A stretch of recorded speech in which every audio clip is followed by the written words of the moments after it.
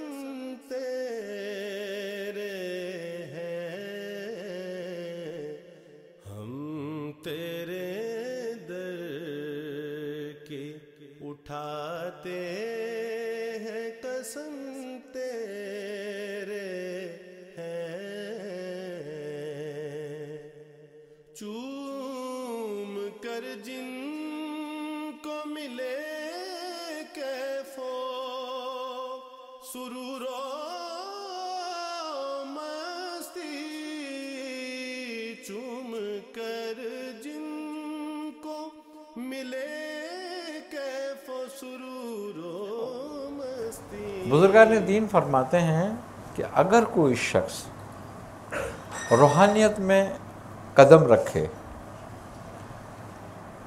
اور شیخ کا مثال ہو جائے، لیکن وہ طالب ہے،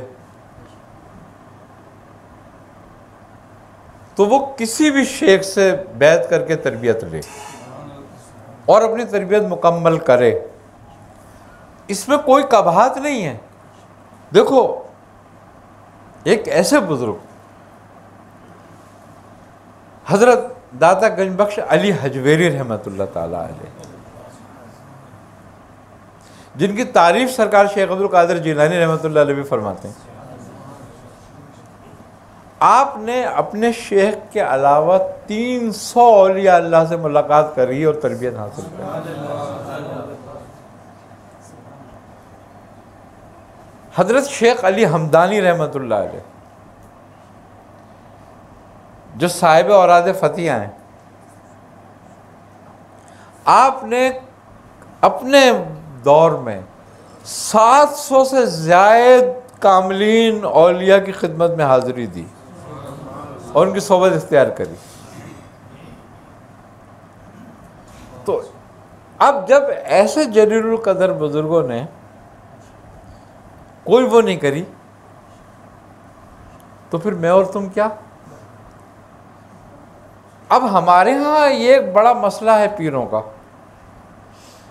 کیونکہ ہم ہمارے ہاں پیر ہیں گنتی پر، تعداد پہ۔ کہ مریدوں کی تعداد کتنی ہے۔ اگر وہ کہتے ہیں کہ کوئی مرید کسی پیر کے پاس چلا گیا تو وہ مرتد ہو گیا۔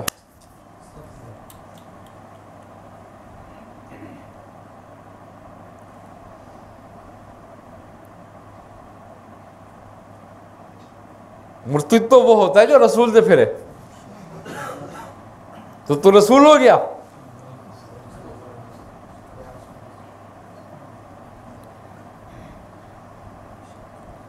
اب پیر یہ چاہتے ہیں کہ ہمارا مرید جو ہے نا وہ کسی بھی پیر کی صورت نہ دیکھے۔ کیوں؟ کہ کسی پیر کی صحبت دیکھ لی اس نے تو پھر ہمارے اب نظر آنے لگیں گے اس کو۔ اور یہ تو پھر ہمارے لیے مصیبت بن جائے گا۔ خوبی کی بات یہ ہے کہ حضرت سیدنا شیخ شہاب الدین سہر وردی رحمۃ اللہ تعالیٰ علیہ، کتنا بڑا نام ہے۔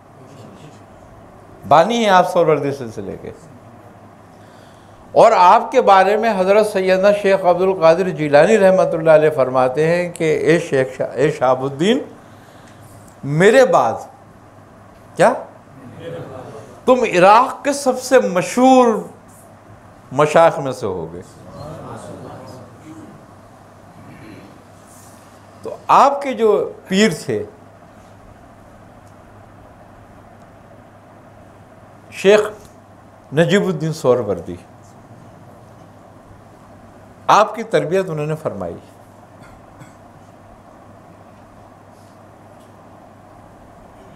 تو آپ چونکہ زیادہ طلب رکھتے تھے۔ جب آپ کے پاس آپ کی تربیت مکمل ہوئی تو آپ نے فرمایا کہ حضور مجھے کچھ اور بھی تربیت کریں۔ تو آپ نے فرمایا کہ ایس شہاب الدین، جہاں تک ہم تمہاری تربیت کر سکتے تھے، ہم نے کر دی۔ اب اگر تمہیں اور تربیت لینی ہے تو شیخ عبد القادر جیلانی کی خدمت میں چلے جاؤ۔ آپ اپنا مرید خود بھیج رہے ہیں۔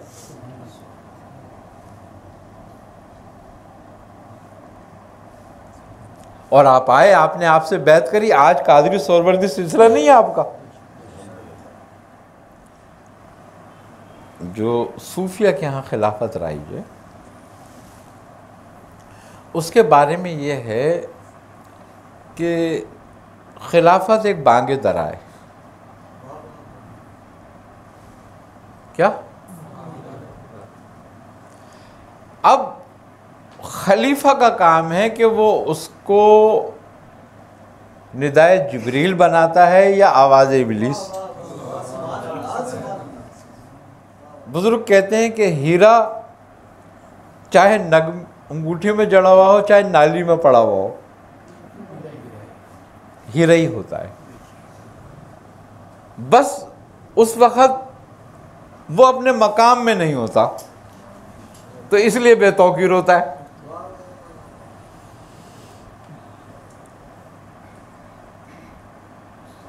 تو اس لیے خلیفہ کی جو حیثیت ہے وہ کم نہیں ہوتی، چاہے وہ انگوٹھی میں ہو۔ بس صرف بات یہ ہے کہ وہ اپنے مقام سے ہٹا ہوا ہے۔ اگر اپنے مقام پہ آ جائے گا تو وہی حیثیت ہے اس کی۔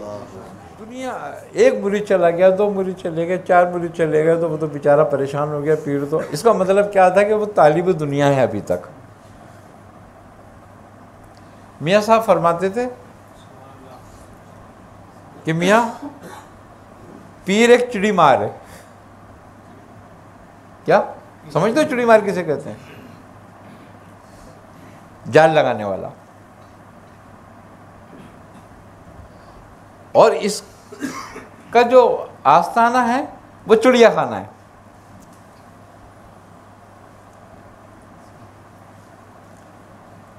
اس کا کام ہے جال لگانا اب اس میں پرندے آن کے پھنستے رہیں گے، پھنستے رہیں گے، پھنستے رہیں گے۔ تو اس کا مطلب اور مقصد چڑیے طوطے کبے پکڑنا نہیں ہے۔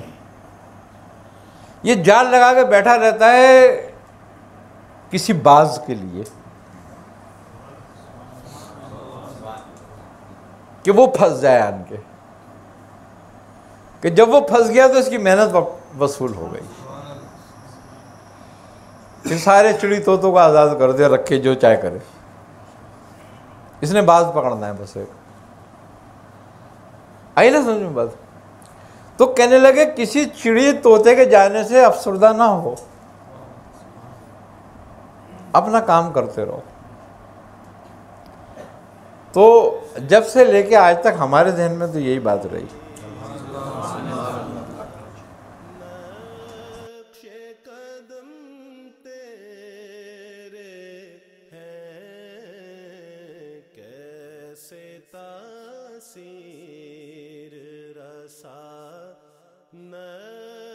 نقش قدم تیرے ہیں۔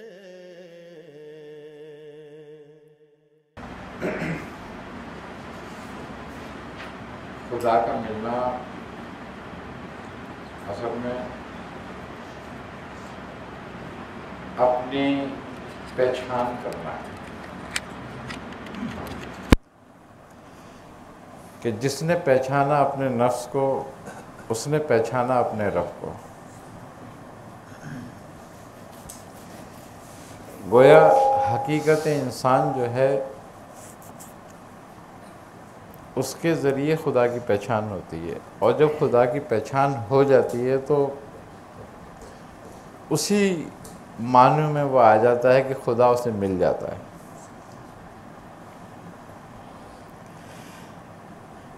اللہ تعالیٰ کی ذات جو ہے،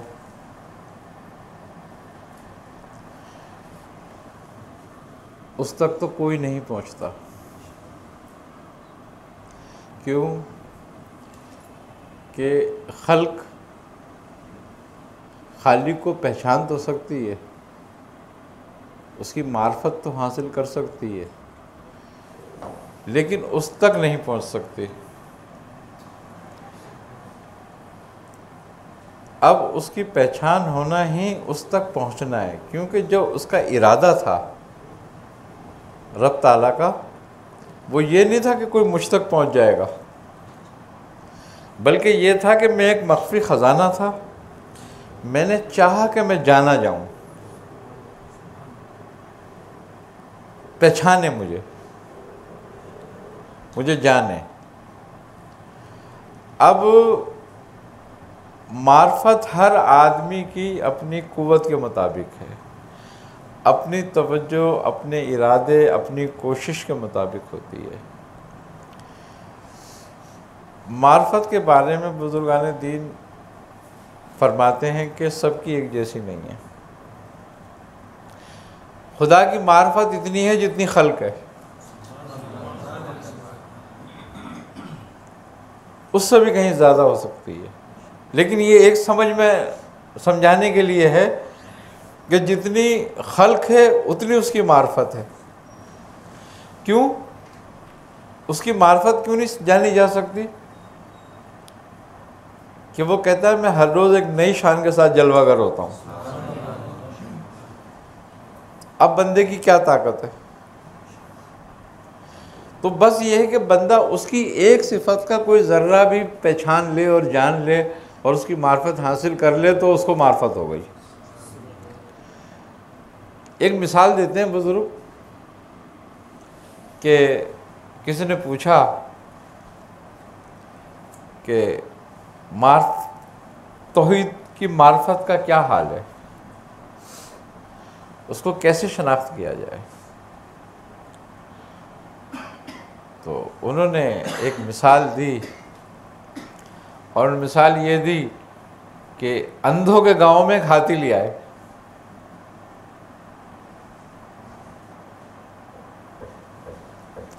اور منادی کرائی کہ بھئی شہر میں نا ہاتھی آیا ہے۔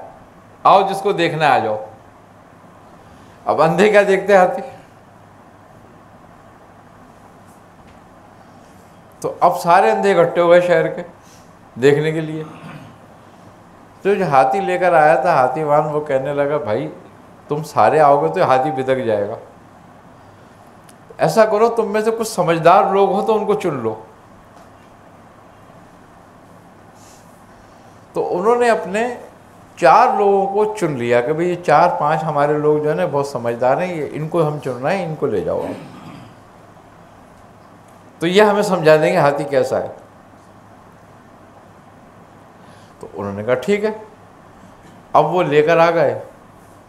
اب انہوں نے کہا، بھائی دیکھو، یہ ہاتھی تمہارے سامنے ہے اب تم اس کو جیسے چاہو شناخت کرو. تو اب ایک اندھا آگے بڑھا۔ تو اس نے سونٹ پکڑ کے دیکھی۔ انہوں نے کہا، یہ ہاتھی ہے نا؟ انہوں نے کہا ہاں یہ ہاتھی ہے۔ انہوں نے کہا، ٹھیک ہے۔ کہا، دیکھ لیا نا؟ بولے ہاں دیکھ لیا۔ ہٹو۔ اب دوسرے کو بلایا۔ کہ بھائی تو بھی آگے دیکھ۔ اب دوسرا اندر بھی آیا۔ اب اس کا ہاتھ اس کے پیٹ پہ پڑا۔ اس نے سارا پیٹ ٹٹول کے دیکھا۔ اس نے کہا بھائی دیکھ لیا۔ انہوں نے کہا یہی ہاتھی تھا نا۔ انہوں نے بولا ہاں۔ بولے ٹھیک ہے۔ تو اب چوتھے کو تیسرے کو بلاؤ۔ تیسرا آیا۔ اس نے اس کے ہاتھ میں ہاتھی کا کان آ گیا۔ اس نے جب ہاتھی کو کان دیکھا تو اب وہ اس نے کہا یہی ہاتھی ہے انہوں نے بولا ہاں یہی ہاتھی ہے۔ یہی ہاتھی ہے۔ چوتھے کو بلایا کہ بھائی تو دیکھ، وہ قد میں ذرا چھوٹا تھا، اس نے اس کا پاؤں دیکھا۔ اس نے کہا دیکھ لیا اس یہی ہاتھی ہے۔ اس نے کہا ٹھیک ہے، بس دیکھ لیا، ہاتھی اب وہ اس نے کہا، جاؤ، تم نے ہاتھی دیکھ لیا ہے، اب گاؤں میں اپنے لوگوں کو سمجھاؤ کہ ہاتھی کیسا ہے. اب ایک آیا، لوگوں نے پوچھا، اس سے بھائی بتا ہاتھی کیسا تھا؟ ارے، اس نے کہا، میں نے تو دیکھا ہاتھی اور ہاتھ لگا کے دیکھا۔ وہ تو کوئی لمبی سی چیز تھی۔ مجھے سونڈ دے گی تھی۔ کہ اوپر سے چوڑی تھی، نیچے سے پتلی تھی، ایسی کچھ تھی وہ، ایسی ہاتھی تھا۔ دوسرا بولا غلط۔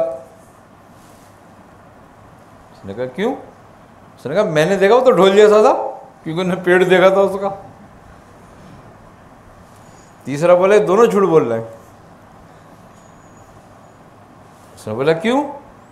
اس نے بولا، وہ تباغ جیسا تھا، بالکل پتلا سا، کیونکہ اس نے کان دیکھا تھا۔ چوتھا بولا، یہ بھی جھوٹا ہے۔ اس نے بولا، کیا دیکھا؟ اس نے کہا وہ تو ایک تھم کی طرح تھا جیسے پلر ہوتا ہے کیونکہ اس نے پاؤں دیکھا تھا اب سب جھوٹ بول رہے تھے سچ بول رہے تھے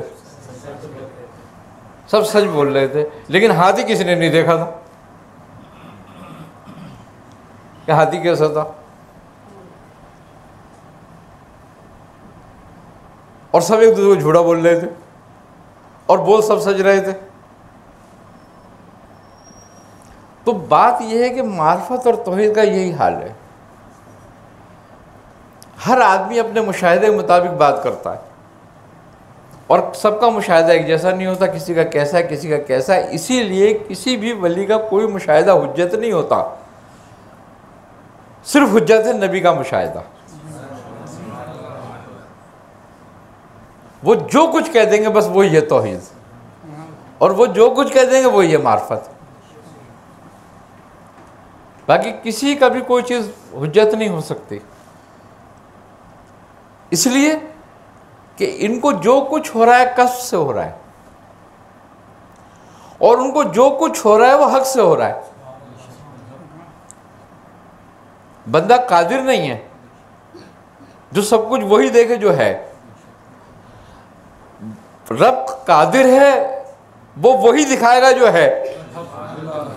تو وہ جس کو دکھائے گا، وہ اس کو وہ وہی دیکھے گا جو ہوگا۔ تو اس کی بات حجت ہوگی۔ اسی لیے نبی کی بات حجت ہوتی ہے، اس سے انکار کفر ہوتا ہے۔ کہ وہ رب کی طرف سے دکھایا جاتا ہے۔ یہ بندہ اپنے کس سے دیکھتا ہے۔ تو بندہ اپنی قوت سے دیکھ کے مطابق دیکھتا ہے اور رب اپنی شان کے مطابق دکھاتا ہے۔ تو یہ معرفت جو ہے، سب کی الگ الگ ہے۔ اب کوئی خدا کو کیسے پاتا ہے؟ کوئی خدا کو کیسے پاتا ہے؟ کہتے ہیں کہ خدا کے راستے اتنے ہی ہیں جتنے خلق ہے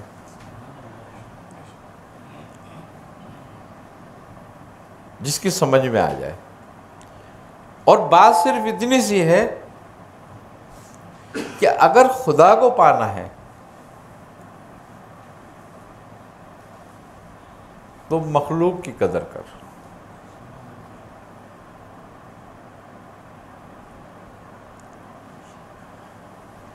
مجنو تھا نا وہ لیلا کے کتے کو بھی چومتا تھا اس کی گلی سے اگر کوئی کتا نکل کے آ رہا ہوتا تھا نا وہ اس کو بھی چومتا تھا لوگ کہنے کہ کیا ہے بولے لیلا کی گلی سے آیا ہے جبکہ لیلا کا کتا نہیں تھا تو بات یہ ہے کہ اگر خالق سے ملنا ہے نا تو خلق سے محبت کرو اور خلق کی قدر کرو دیکھو بے عیب ذات کس کی ہے رب تعالیٰ کی۔ تو جس نے اس خل کو بنایا تو عیب کے ساتھ بنایا ہے۔ جیسی وہ ذات بے عیب ہے، اس نے ایسے ہی بے عیب بنایا۔ مگر جو کچھ عیب ہے، وہ ہمارے اعمال کا ہے۔ اور وہ عیب کیا ہے کہ ہم نے حق کو تسلیم نہیں کرا۔ اگر حق کو تسلیم کر لیتے، عیب ختم ہو جاتا۔ کہتا ہے نا کہ لقت خلق نل انسان فی آسن تقویم۔ یہ جو میں نے انسان بنایا ہے، یہ میری بہترین تخلیق ہے۔ اب احسن جو ہے، حسن کی جمع ہے۔ اب ایک بندے کی عقل کے مطابق جمع ہوتی ہے۔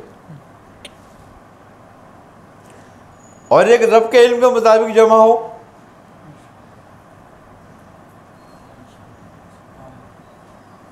اب ہماری تو عقل میں بھی وہ احسن کا لفظ نہیں آ سکتا۔ خوبیوں میں جو اس نے بیان کیا ہے۔ تو مقصد یہ ہے کہ اس کا مطلب ہے تخلیق میں تو بیب ہے۔ اس کی بہترین تخلیق ہے۔ لیکن سم رددنا اسفل السافلین۔ مگر یہ اپنے عمل میں اسفل یعنی کہ جانوروں سے بھی بدتر ہو گیا۔ تو اس کا مطلب یہ ہوا کہ عیب اس کے خلق میں نہیں ہے، عیب اس کے عمل میں ہے۔ اب یہ اگر عمل کو اپنے درست کرے تو الزین امن و عامل الصلاحات مگر وہ لوگ جو ایمان لائے اور نیک عمل کیے۔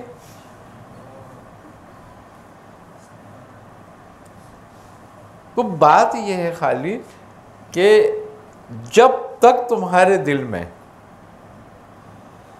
خلق کی طرف سے بغض، حسد، کینہ رہے گا، خالق تک نہیں پہنچ سکتے۔ اور عقل مند آدمی کے دماغ سے یہ بات نکل نہیں سکتی دل کے۔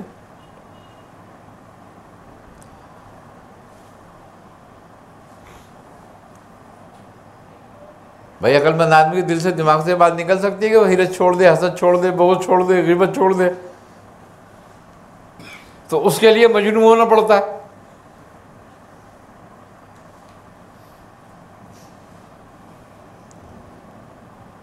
آئی سمجھ میں بات؟ اب دو ہی باتیں ہیں۔ اس کی یا تو ذکر تیری عقل پہ غلبہ کر جائے یا اس کا عشق تیری عقل پہ غلبہ کر جائے۔ درمیان کا کوئی راستہ ایسا نہیں ہے۔ اچھا یہ ساری چیزیں جو ہمارے اندر موجود ہیں، جو خدا کے راستے میں ہمارے لیے اس کے راستے میں حجاب بن رہی ہیں، وہ اس کی ساری کی ساری جو بنیاد ہے اور وہ جڑ ہے، وہ ہے حب دنیا۔ اور حب جا۔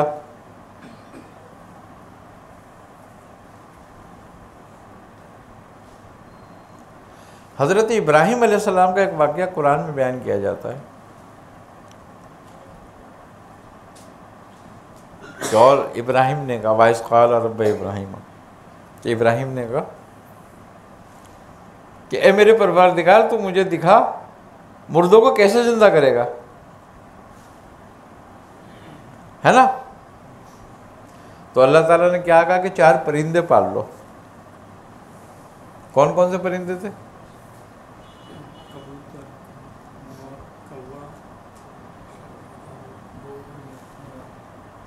ہیں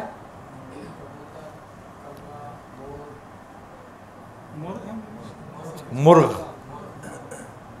مرغ بھی تھا ایک۔ چار تھے یہ۔ ایک مرغ تھا، ایک کبوتر تھا، ایک کوا تھا اور ایک مور تھا۔ اور کہا کہ ان سے اب ان کو ہلا لو، ایسے کہ تمہارے اشارے پہ تمہاری آواز پر آئیں تمہاری طرف۔ آپ نے ایسے ہی کیا۔ پھر کہا کہ ان چاروں کو ذبح کر دو، کاٹ دو۔ کاٹ دیا اور سب کا گوشت کر کے اور سب کو ایک جگہ قیمہ کر دو، ان کا ملا دو سب کو ایک جگہ۔ سب کو ملا دیا اور کہا ان کو چاروں طرف پھینک دو۔ اور پھر آواز دو، چلے جائیں گے تیری طرف دوڑے ہوئے۔ اور سجیب نے ایسا کیا اور ایسے ہی ہوا۔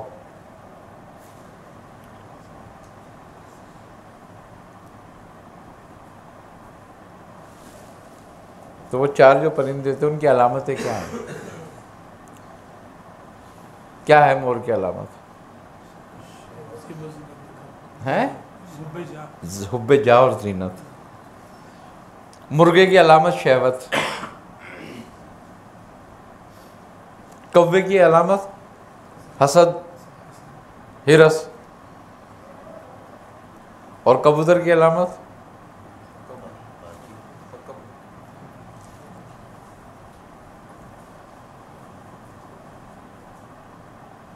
اب یہ ایسے نہیں ذبح کرائے گئے تھے۔ بتایا کہ اگر اس طرف جانا ہے تو ان کو پہلے ذبح کر۔ ہاں مشاہدہ کرنا ہے تو ان کو ذبح کر پہلے۔ تکبر، اڑان، اونچا جانا۔ کہ اپنے اندر سے ہیروس و حسد ختم کر۔ اپنے اندر سے زینت و زبائش ختم کر، حب جا ختم کر، اپنے اندر سے شہوت ختم کر۔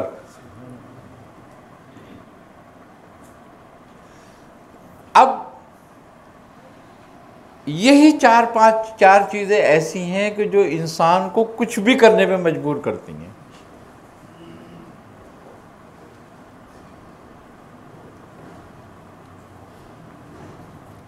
اور یہی خدا اور بندے کے درمیان حجاب ہے۔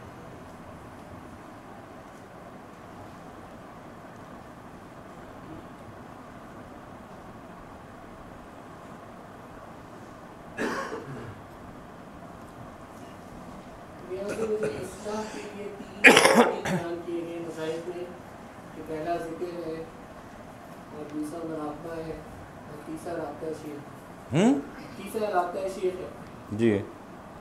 ان تینوں چیزوں سے باطن پہ فرق پڑتا ہے دیکھیں یہ تینوں رابطے کیوں بتائے گئے؟ ہیں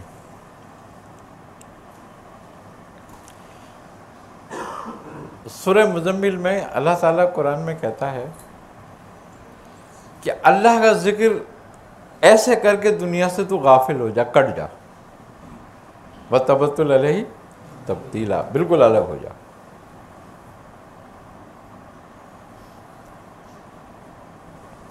تو ذکر کا پہلا اصول کیا ہوا؟ و تبتل۔ کٹ جا۔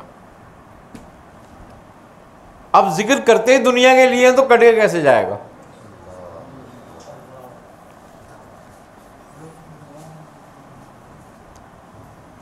جب ذکر ہی ہمارا دنیا کے لیے ہو رہا ہے، تو پھر تو ذکر کرنے کا فائدہ نہ ہوا، وہ تو کہہ رہا ہے کہ تو ذکر ایسا کر کے دنیا سے الگ ہو جا۔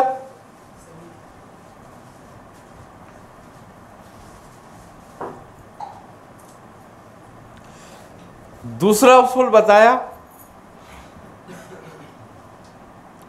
کہ اور اسی کو اپنا کارساز بنا لے جو مغرب اور مشرق کا مالک ہے، جس کے سوا کوئی عبادت کے لائق نہیں۔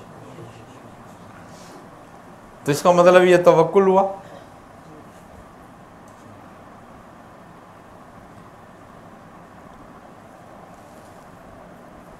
کون ذاکر بنا رہا ہے؟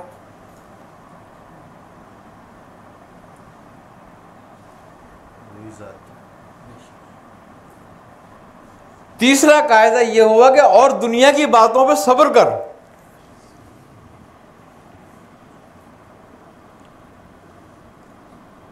یہ جو تانے دیتے ہیں، ان کو صبر سے خوبصورتی سے ٹال دیں۔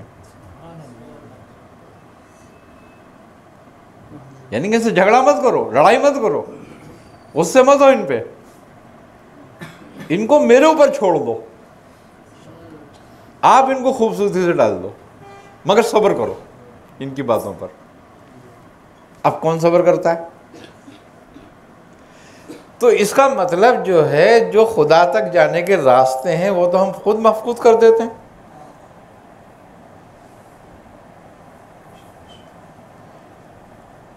نہ تو ذکر کے وقت دنیا سے الگ ہوتے ہیں۔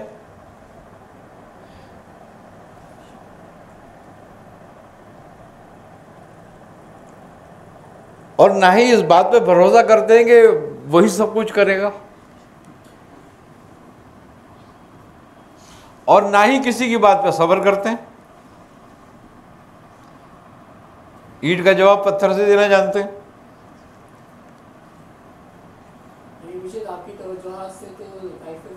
ہے پھر قرآنی اصول ضابطے بتا رہا ہے۔ یعنی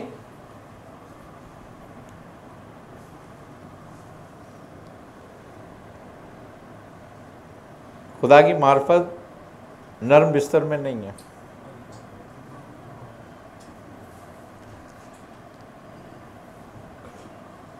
اگر ہوتی تو کیوں کہتا کہ یا المزمل کو مل اللہ۔ کلیلہ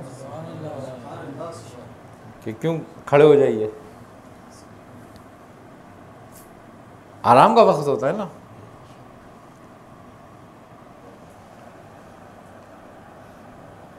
چادر جو اڑی ہوئی آپ نے اس کو ہٹائیں اور کھڑے ہو جائیں۔ آدھی رات یا اس سے کچھ کم رات۔ اب کون کھڑا ہو رہا ہے؟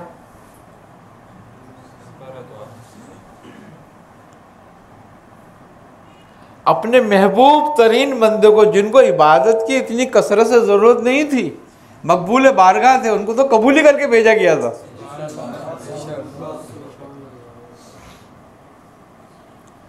یعنی کہ آپ کے اگر آپ دو رکعت نفل پڑھیں اور ساری خلقت سو رکعت مل کے پڑھے تو بھی ان کے ایک علمدوں کے برابر بھی نہیں ہے، سبحان اللہ کے برابر بھی نہ ہو سکے۔ کیوں؟ کہ عبادت مقبول ہی آپ کی وجہ سے ہے۔ کہ جو طریقہ آپ نے عبادت کا بتایا، اگر وہی ہے تو مقبول ہے نہیں تو نہیں۔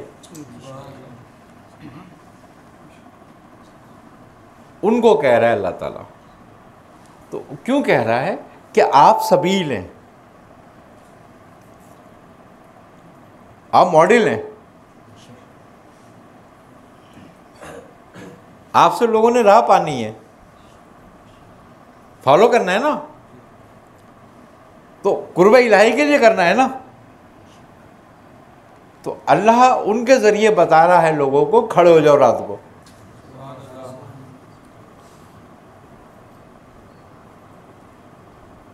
تاکہ تمہاری رات مقبول ہو جائے۔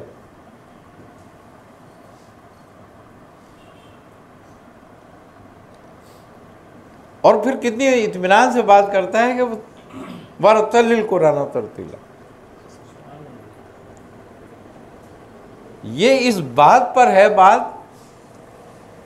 کہ آپ تحمل اور توجہ سے کریں جو کچھ کریں۔ کثرت کی ضرورت نہیں ہے یہاں پہ۔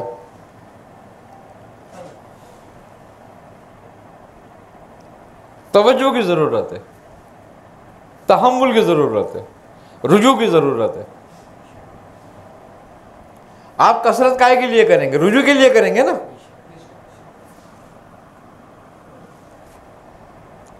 تو رجوع کثرت سے نہیں ہوتا تحمل سے ہوتا ہے، ترتیب سے ہوتا ہے۔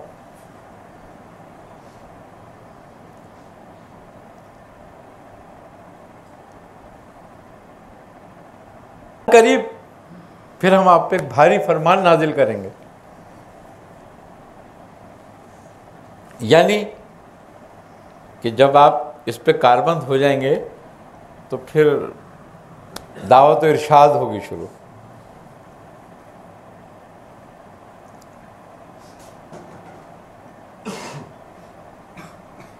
کیونکہ رات کا اٹھنا کہتا ہے، نفس امارہ کو پامال کرتا ہے۔ خواہش کو توڑتا ہے۔ اب یہ سارے راستے جو اللہ تعالیٰ نے بتائے یہ اپنے قرب کے بتائیں۔ جو مجھ تک آنا ہے تو یہ راستہ ہے، آ جاؤ۔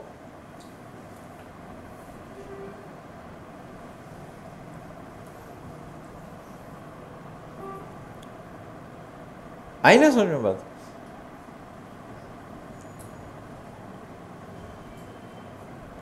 اور جب آدمی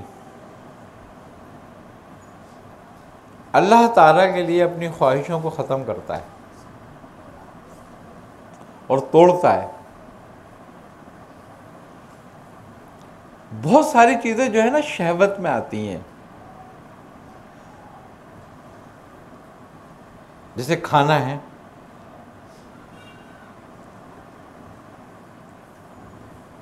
اس کا شوق بھی شہوت کہلاتا ہے۔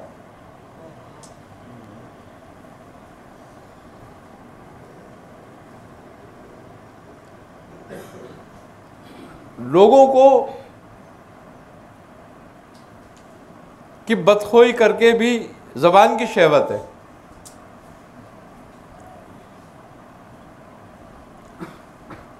لوگوں کو ذلیل اور رسوا کرنا بھی نفس کی شہوت ہے۔ کہ تسکین ہوتی ہے تمہیں۔ اگر تم کسی کو ذلیل کر رہے ہو، تمہیں تسکین ہو رہی ہے، تو اس کا مطلب ہے شہوت حاصل ہو رہی ہے اس سے تمہیں۔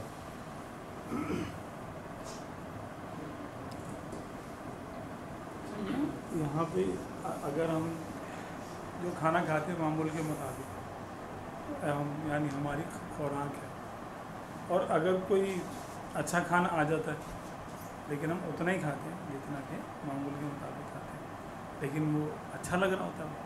اس میں ٹیسٹ زیادہ آ رہا ہوتا دل چاہتا ہے کہ تھوڑا اور کھا لیں لیکن ہم اپنے معمول پہ رکھتے ہیں۔ تو یا اس کو اور کم کریں یا اس کو چھوڑ دیں۔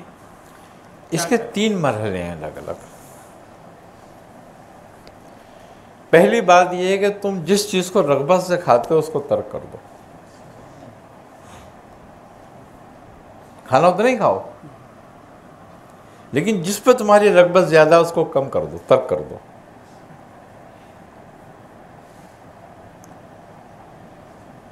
یہ ایک مرحلہ ہے۔ اب یہ ایک کیٹیگری کے لیے۔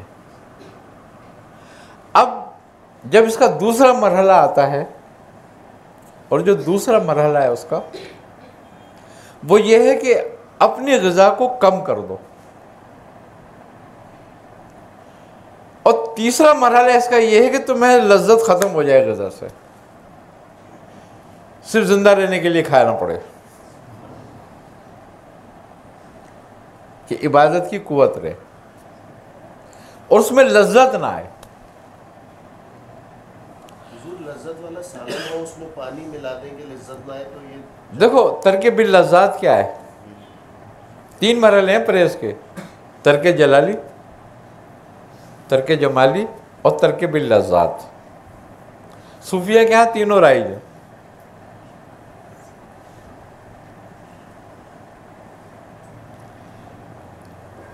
ایک بزرگ حضرت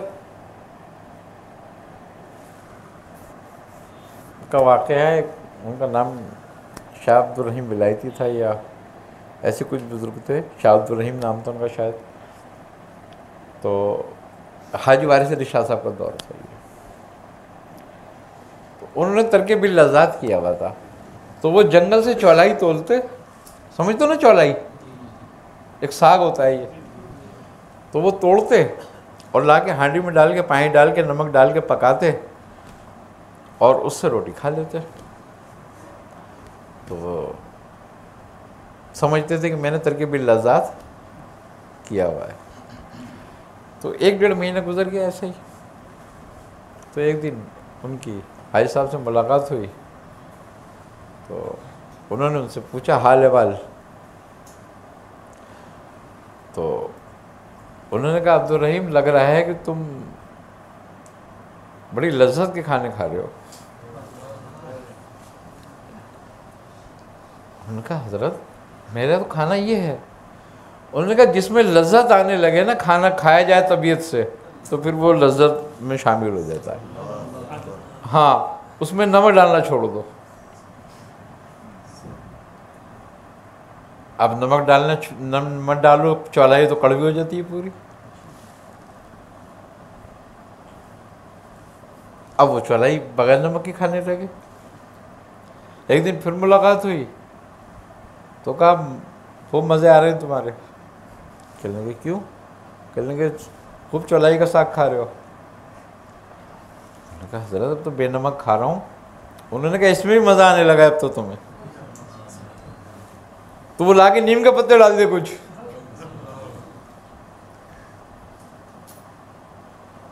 تو صوفیوں کے طریقے بڑے عجیب سے ہیں۔ اس لیے کہ لذت خدا سے اللہ دور کر دیتی ہے۔ یہ بڑی بات ہے کہ لذت جب آنے لگتی ہے تو آدمی محجوب ہو جاتا ہے، حجاب میں آ جاتا ہے حضور پھر توکل ترک اسباب کا ہی نام ہے۔ توکل ترک اسباب کا ہی نام ہے بیسکلی تو۔ لیکن اہل دنیا کے لیے نہیں۔ ان کو تو اسباب پر ہی نظر رکھنی ہے۔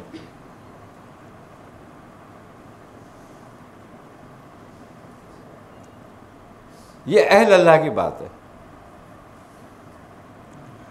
آئی نا سمجھ میں بات۔ اب لیکن اس کے مرحلے ہیں۔ ایک زمانہ وہ تھا، حضرت شیخ عبد القادر جیلانی رحمۃ اللہ علیہ کا کہ بغیر مرغے کھانا نہیں کھاتے تھے آپ۔ آپ کے دسترخوان پہ پانچ سات طرح کے میٹھے ہوتے تھے اور پانچ سات طرح کے سالن ہوتے تھے اور پرندوں کے گوشت ہوتے تھے۔ تب آپ کھانا تناول فرماتے تھے۔ ایک وقت وہ تھا کہ آپ درختوں کے پتے توڑ کے کھاتے تھے۔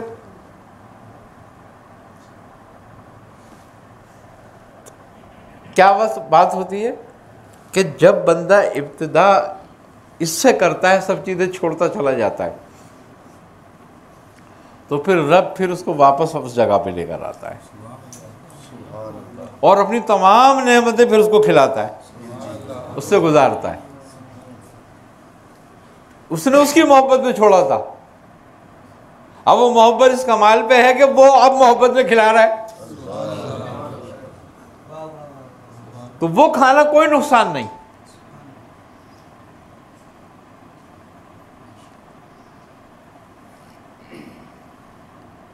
لیکن وہ جو اس منزل سے گزر کے وہاں آئے، تب کی بات ہے۔ ویسے تو سب کو کھلا رہا ہے، وہ کافروں کو بھی کھلا رہا ہے، مومنوں کو بھی کھلا رہا ہے۔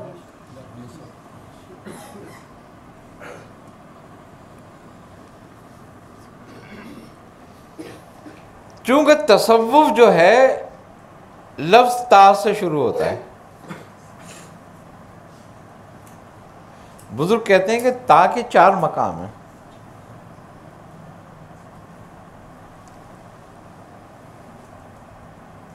پہلا مقام جو ہے وہ توبہ ہے۔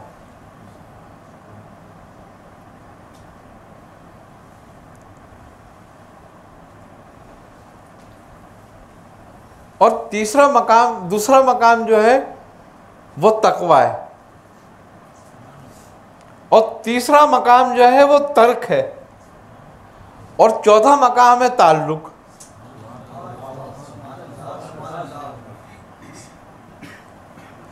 جس نے اس چار باتوں کو سمجھ لیا، گویا انہوں نے پورے تصوف کو سمجھ لیا۔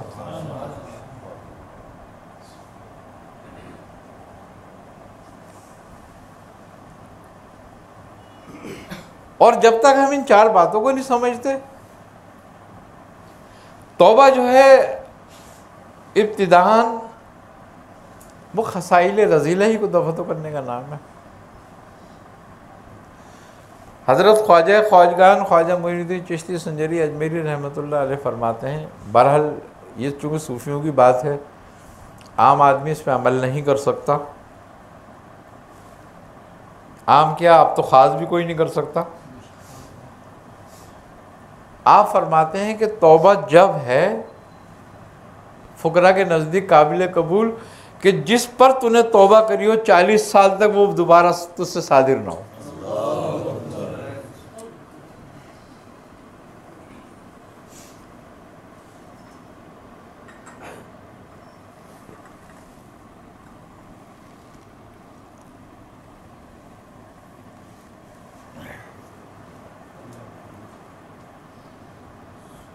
تو وہ کہتے ہیں کہ تو توبہ میں داخل ہوا۔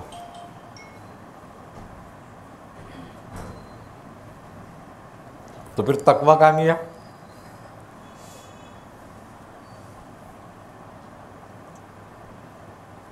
بہرحال جس نے توبہ کری اور اس پہ قائم رہا اور پھر اس گناہ سے اس لیے بچا۔ کہ میں نے رب کے سامنے توبہ کر لی ہے تو وہ تقوی میں داخل ہو جاتا ہے۔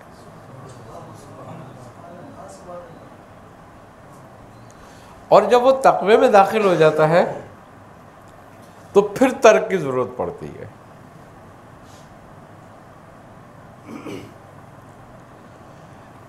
ترک کیا چیز ہے اور ترک سے ہوتا کیا ہے؟ ایک محفل تھی بادشاہ کی۔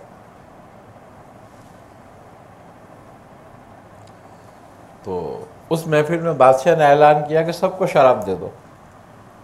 سب شراب پئیں گے، آج وہ جو ہم پیتے ہیں۔ اور کوئی ایسا نہیں بچے جس کو شراب نہ دی جائے۔ اور کوئی ایسا نہ رہے محفل میں جو شراب نہ پیے۔ اب وہ بڑی عجیب شرط۔ اب وہ شراب بانٹنا شروع کر دی سب کو۔ تو ایک بادشاہ کا بہت ادنا سا ملازم اور خادم تھا، وہ بھی اس محفل میں شریک تھا۔ تو اس کے پاس لے کر آئے کہ بھائی پی، اس نے کہا نہیں، میں نہیں پیتا ہوں۔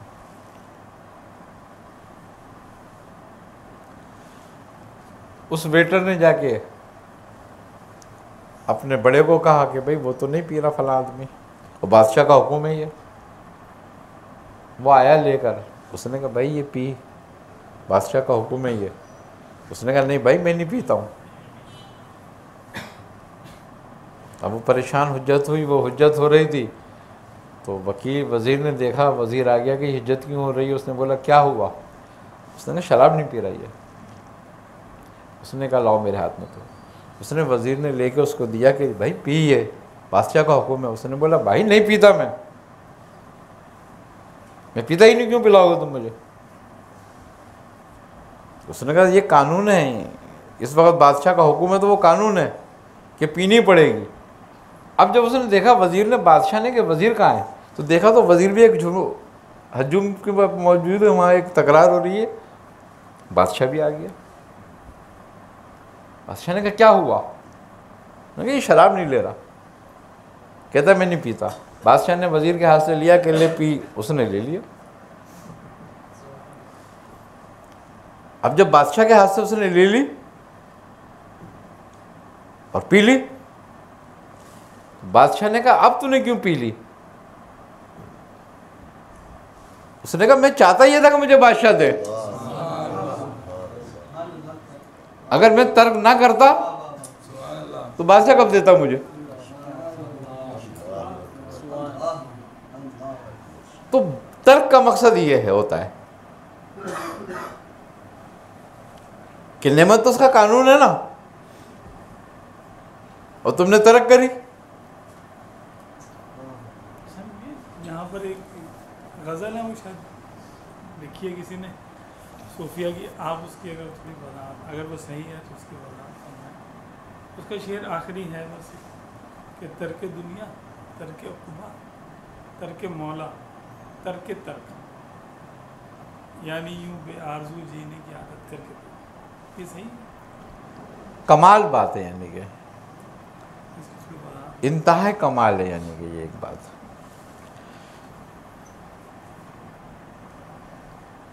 ترک دنیا؟ واضح تو واضح ہو گئی۔ ترک عقبہ بھی واضح ہے۔ اور ترک مولا بھی واضح ہے۔ اور ترک پہ ترک۔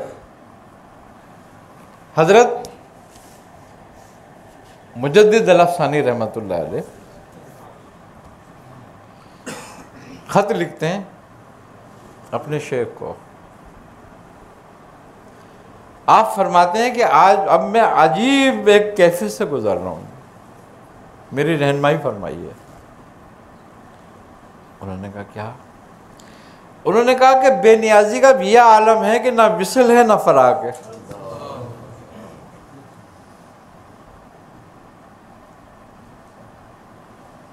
اب نہ آرزو ہے وصل ہے نہ فراق ہے۔ انہوں نے کہا، اس منزل پہ تو ہم بھی نہیں پہنچے ابھی تک۔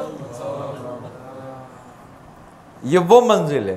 یعنی کہ آدمی عشق کی اس منزل میں داخل ہو جاتا ہے کہ رانجھا رانجھا کرتی میں آپ ہی رانجھا ہوئی۔ اب کوئی رانجھا نہیں رہا۔ یعنی کہ یا تو میں تو ہو جاتا ہے یا پھر تو میں ہو جاتا ہوں۔ پھر ایک ہی رہ جاتا ہے نا۔ پھر خواہش کہاں رہ گئی جب ایک رہ گیا تو؟ خواہش تو دوسرے سے ہوتی ہے۔ جب ایک رہ جاتا ہے تو کچھ بھی نہیں رہتا باقی۔ کل میں نے لیا فان۔ یہ تو ہو ترک مولا اور ترک ترک۔ اپنی ترک کو بھی ترک کر دیں۔ وہی کل من علی افان۔ وہی اب کا ہو۔ وجہ رب غزل جلال ولی کرام یعنی کہ سب ترکوں کو میں نے ترک کر دیا۔ اب ایک ہی باقی رہ گیا۔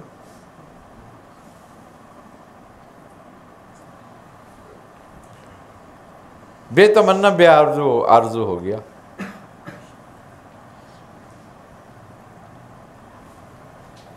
اس راستے میں سوال جو ہے نا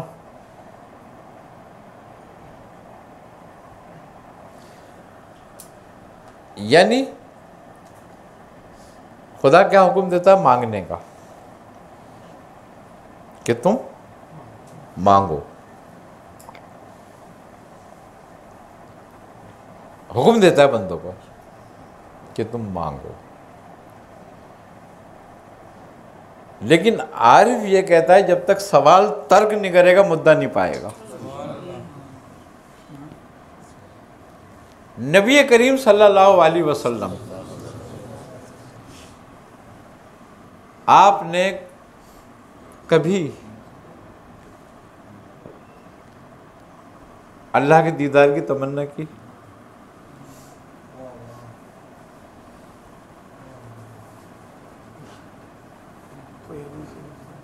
نہیں ہے۔ موسا نے کری۔ موسا کو کیا جواب آیا؟ اور آپ کو کہاں بلایا؟ تر کے مدعا یہی ہے۔ یہ نہیں کہ آپ کو تمج وہ نہیں تھی۔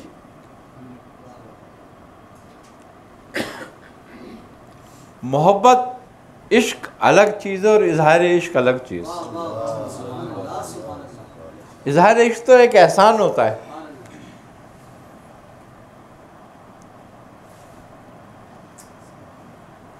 عشق احسان نہیں ہوتا۔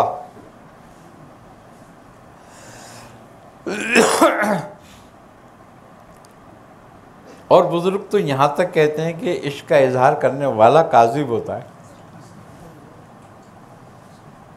اور عشق کرنے والا صادق ہوتا ہے۔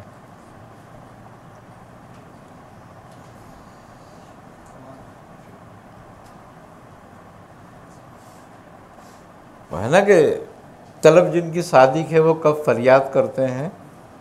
لبوں پہ مہر خاموشی دلوں میں یاد کرتے ہیں۔ ہے نا یہ بات؟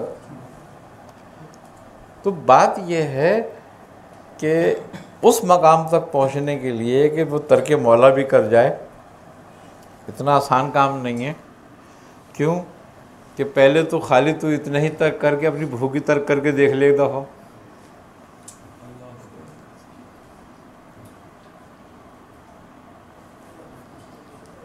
کوئی اپنی خواہشی ایک ترک کر کے دیکھے بندہ کتنی عزیز سے گزرتا ہے۔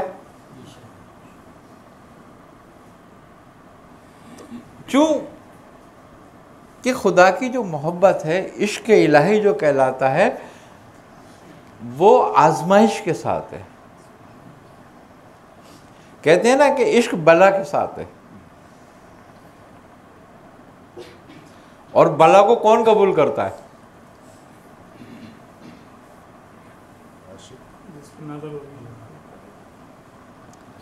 عقل مند تو کرتا نہیں ہے۔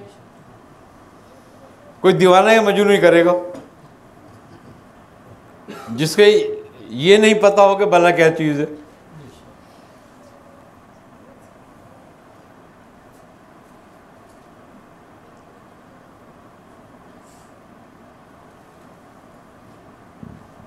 ابھی ایک بخاری آ جاتا ہے تو کہتے چلانا چلانا شروع کر دیتے ہم۔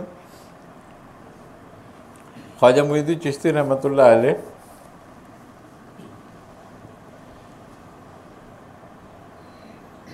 جو دن آپ کے صحت کے گزرتے تھے۔ تو آپ کی عبادت اور آپ کا آہو بکا بڑھ جاتا تھا۔ تو لوگ کہنے لگے کہ حضرت، جب آپ بیمار ہوتے ہیں، آپ اطمینان میں ہوتے ہیں۔ لیکن جب آپ صحت میں ہوتے ہیں تو آپ بڑی آہو بکا کرتے ہیں اور آپ فرماتے ہیں کہ مجھے خوف ہو جاتا ہے۔ کہ کہیں میں الگ تو نہیں کر دیا گیا۔ جب تک بیمار رہتا ہوں تو مجھے احساس رہتا ہے کہ میں اس کے قریب ہی ہوں، میرے قریب ہے۔ کیونکہ بلا ساتھ ہے۔ تو جب بلا ساتھ ہے تو رب قریب ہے۔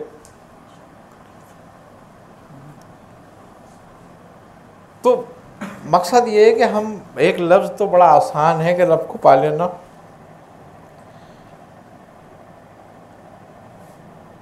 حضرت شاہ عنایت حسن، جو حضرت بابا بلے شاہ کے پیر و مرشد ہیں۔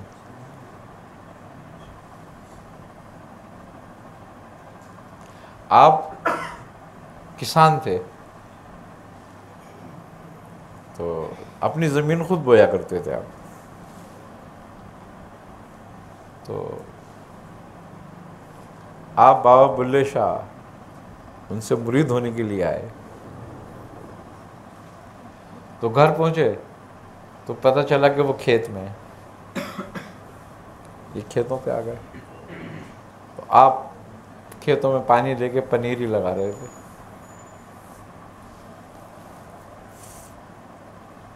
تو آپ آن کے کھڑے ہو گئے۔ آپ اپنا کام کرتے رہے۔ کافی دیر ہو گئی۔ تو آپ نے آپ کو دیکھا۔ تو آپ نے پوچھا۔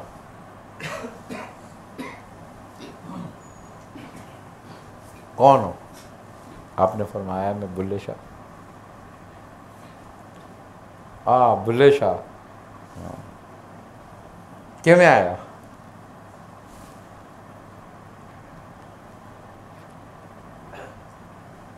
انہوں نے کہا رب نو پانا ہے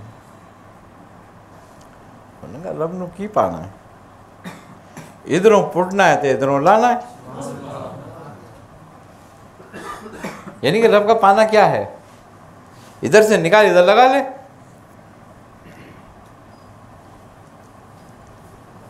کیا مقصد تھا اس کا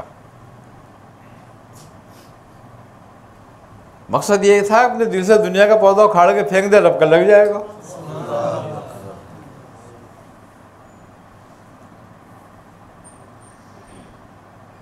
اس کا پانا کچھ نہیں ہے بولے۔ یہ پیڑ اکھاڑ کے پھینک دے، یہ لگا لے۔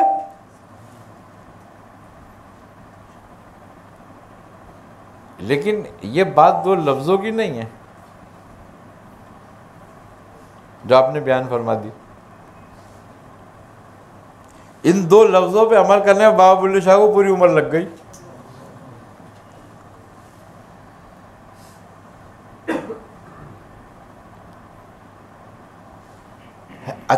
کمال بات یہ کہ ہدایت کے لیے کوئی تقریر کی ضرورت نہیں ہوتی۔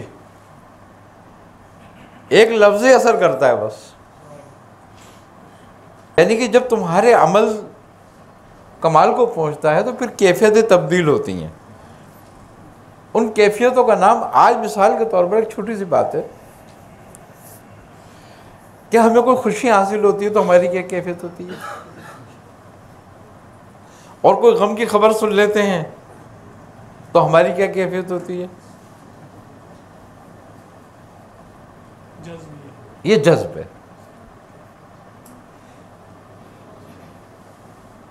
آئی نا سمجھ میں بات۔ سلوک کا نتیجہ نتیجہ جذب ہے۔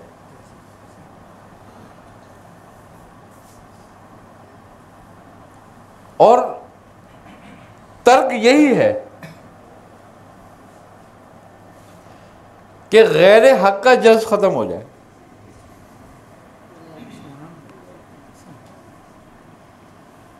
اگر غیر حق کا جذب ختم ہو جاتا ہے تو تو ترک میں ہے۔ اور جب تو ترک کے کمال کو ہوگا تو پھر تعلق پیدا ہو جائے گا۔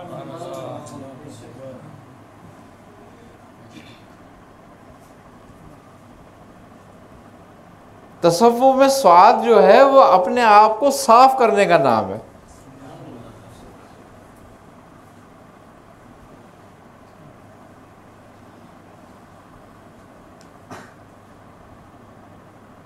اور واہ وفاداری ہے اس کی۔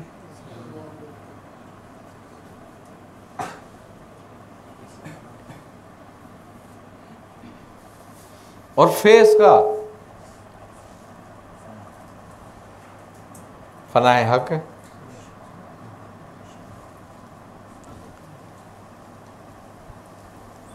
اور جب تک یہ سب کچھ پیدا نہیں ہوتا تو تصوف نہیں ہوتا۔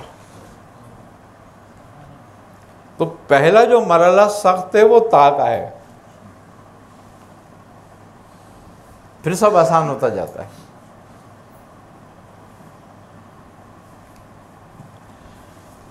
خوبی کی بات یہ ہے کہ اللہ تعالیٰ اپنے سے محبت کرنے والے کو کبھی تنہا نہیں چھوڑتا۔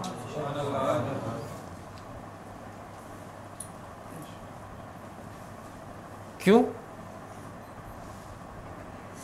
اس سے زیادہ غیور و وفادار کوئی نہیں۔ مقصد یہ ہے کہ بڑے مزے کی بات یہ ہے کہ بندہ بندے کو اپنے مفاد کے لیے چاہتا ہے۔ لیکن رب بندے کو بندے کے مفاد کے لیے چاہتا ہے۔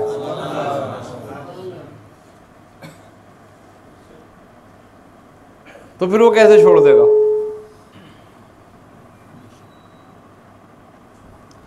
لیکن بات کیا ہے؟ خدا کا راستہ کب کھلتا ہے؟ اصل بات یہ ہے، جب خل کے راستے بند ہو جاتے ہیں۔ اور جب تک خل کا ایک راستہ بھی کھلا رہتا ہے، خدا کا راستہ نہیں کھلتا۔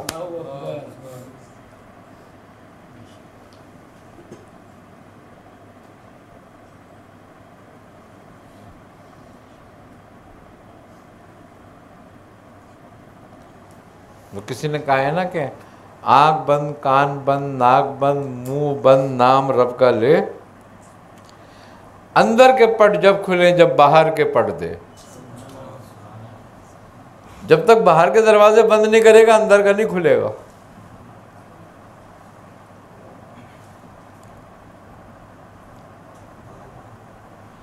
کیوں حضرت ابراہیم علیہ السلام نے جبرائیل کو واپس کر دیا تھا؟ آپ خل کے سارے راستے بند کرنا چاہتے تھے۔ کیونکہ آپ جانتے تھے کہ جب تک خل کا راستہ بند نہیں کروں گا رب کا راستہ نہیں کھلے گا۔ اور وہی ہوا۔ رب آپ کو اکیلا چھوڑتا کیا؟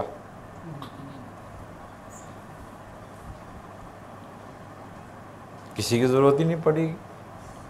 رب نے فرما دیا کہ آگ ٹھنڈی ہو جا اور سلامتی بن جائے ابراہیم کے لیے۔ آگ کو بجھنے کے لیے نہیں کہ آگ جلتی رہی۔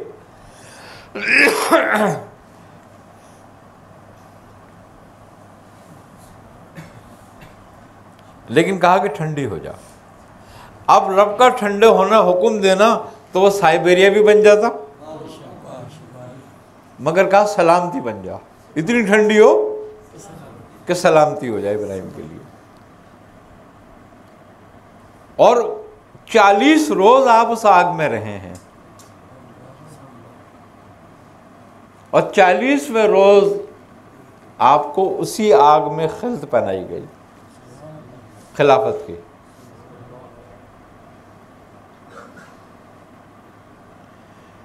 صوفیہ کے ہاں چالیس روز بڑے اہمیت کے حامل ہوتے ہیں۔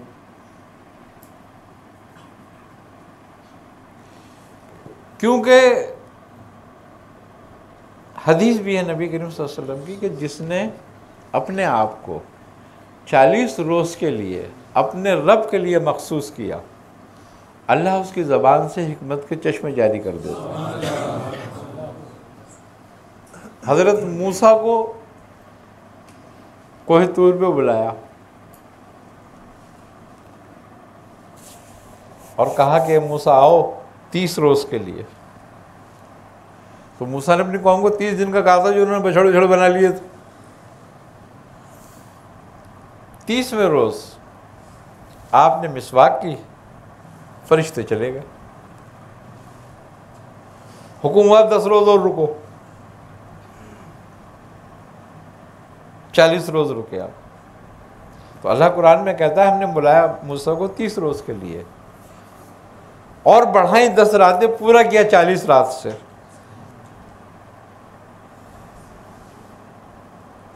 اور وہیں حضرت موسیٰ کو وہ توریت ملی تھی۔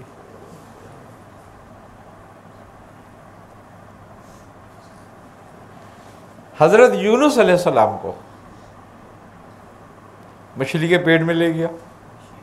کتنے دن رکھا؟ چالیس دن۔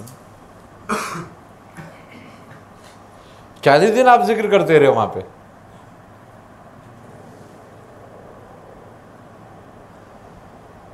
تو یہ عربین کہلاتی ہے صوفیہ کے ہاں اس کا بڑا مقام ہے۔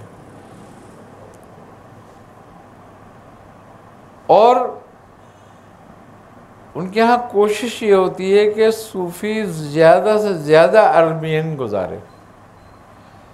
کیونکہ سنت انبیاء ہے۔ اور وہ سنت ہے کہ جس کے ذریعے اللہ تعالیٰ کی معرفت حاصل ہوتی ہے۔ انوارات حاصل ہوتے ہیں۔ دیکھو، جب تک ہمارا جسم اندر روح جو ہے ہماری، وہ طاقتور نہیں ہوتی۔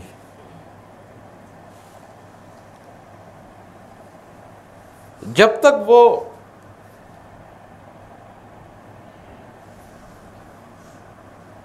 مشاہدہ نہیں کر سکتی،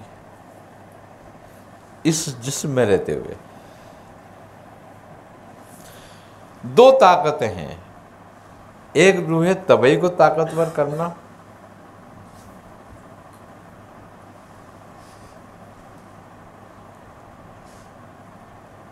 اور ایک روح حقیقی کو طاقتور کرنا۔ جو امر رب ہے۔ امر کی غذا نور ہے۔ روح حقیقی اور روح طبعی کی غذا۔ کھانا پینا، اناج، یہ ہے۔ دونوں ایک ساتھ طاقتور نہیں ہوتی کبھی بھی۔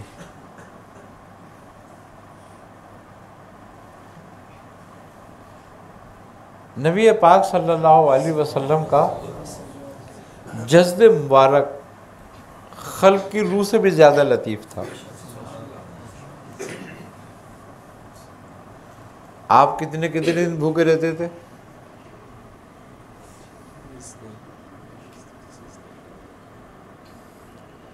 یہاں تک کہ پیڑ سے پتھر تک باندھے۔ تو کیا اناج کی کمی تھی ان کے لیے؟ بنائی کائنات جن کے لیے ان کو کیا کمی تھی؟ جن کے ذریعے خلق ان میں اناج مل رہا تھا، جن کے وسیلے سے، وجہ سے، ان کو کیا کمی تھی؟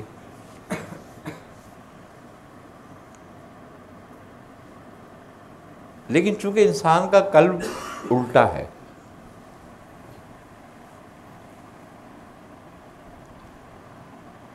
یہ ہر الٹی بات کو سیدھی سمجھتا ہے۔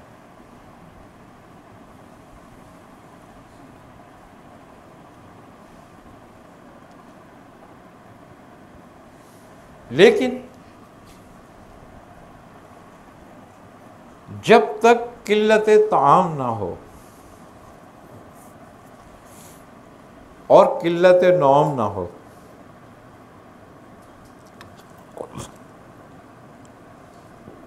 اس وقت تک انوارات پیدا نہیں ہوتے۔ انوارات کا دوسرا نام روحانیت بھی ہے۔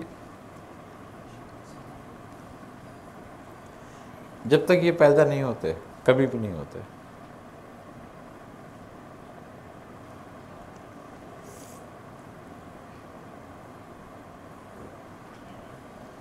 ہم جتنا زیادہ سوتے ہیں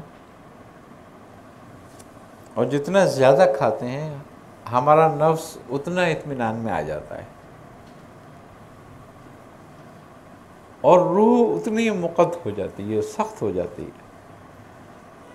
اور وہ کمزور ہو جاتی ہے۔ اور ساری عمر ہم یہی کرتے رہتے ہیں کہ اس کو کمزور کرتے رہتے ہیں۔ اور اس کو طاقتور کرتے رہتے ہیں۔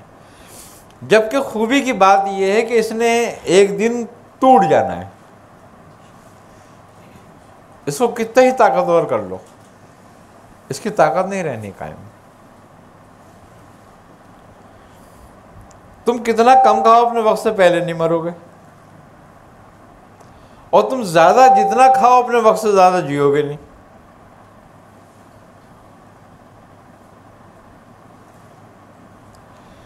بلکہ اکثر یہ دیکھا گیا ہے کہ کم کھانے والا زیادہ دن زندہ رہتا ہے۔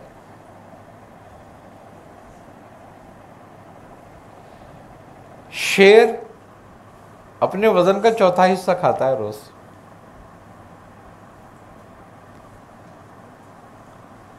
یعنی کہ اگر یہ دو سو کے جی کا ہے تو پچاس کے جی گوشت روز کھاتا ہے۔ اور کتنے سال کی زندگی ہوتی ہے؟ بارہ سے پندرہ سال میں مر جاتا ہے۔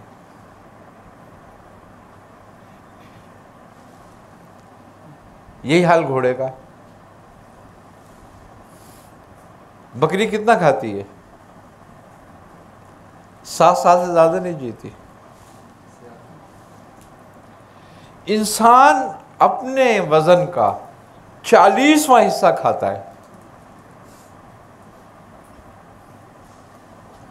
کتنے دن زندہ رہتا ہے؟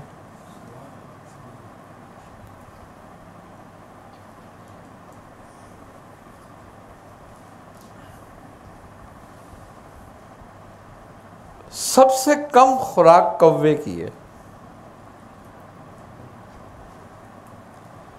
کبھی کوے کو مرتے دیکھا؟ ہاتھ ساتھ ہی مرے گا۔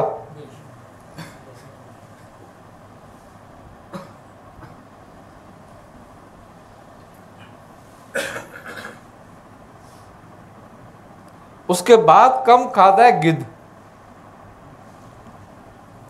کتنے سال جیتا ہے؟ ہاں دو سو سال، تین تین سو سال۔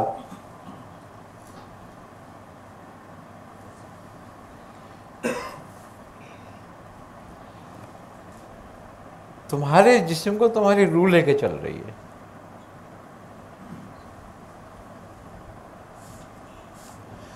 تو جو تصوف میں قدم رکھتے ہیں، جذب، سلوک میں قدم رکھتے ہیں، روحانیت میں قدم رکھتے ہیں، یہ دنیا دار کے لیے بات نہیں کر رہا میں۔ ہاں دنیا دار تو جتنا کھائے اس کی مرضی ہے خوب کھائے۔ ہاں سالک کے لیے۔ کیونکہ دنیا کا نظام ہی کھانے سے چل رہا ہے۔ سالک کے لیے ہے، جو روحانیت میں قدم رکھتا ہے۔ اب ہر آدمی کو تو ضرورت نہیں ہے اس کی۔ اس کو چاہیے کہ وہ اپنے خوراک پہ کنٹرول کرے، غذا پہ کنٹرول کرے، اپنے سونے پہ کنٹرول کرے۔ زیادہ جاگے، کم سوئے، کم کھائے اور کم بولے۔ کم بولنے سے عقل بڑھتی ہے۔ دانش پیدا ہوتی ہے۔ دانش وہ نہیں دنیا کی۔ یہ بھی بات ہے۔ اس کو دنیا کی دانش نہیں بڑھتی، بلکہ عقل چونکہ نور ہے۔ عقل جو ہے، وہ نور ہے۔ تو جب یہ خاموش رہتا ہے نا، تو وہ مجلہ ہوتا ہے۔ اور جب وہ مجلہ ہوتا ہے، تو پھر اس آئینے میں اس کا اصل نظر آنے لگتا ہے۔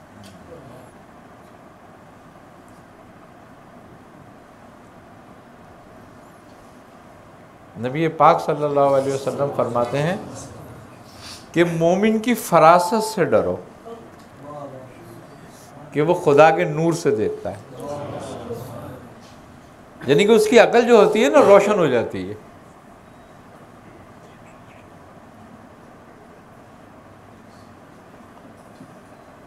اس کی عقل وسوسوں پہ نہیں ہوتی قائم۔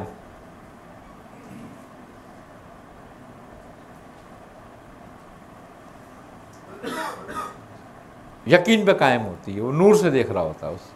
وہ جو کچھ بولتا ہے، وہ اتھینٹک ہوتی ہے بات۔ پھر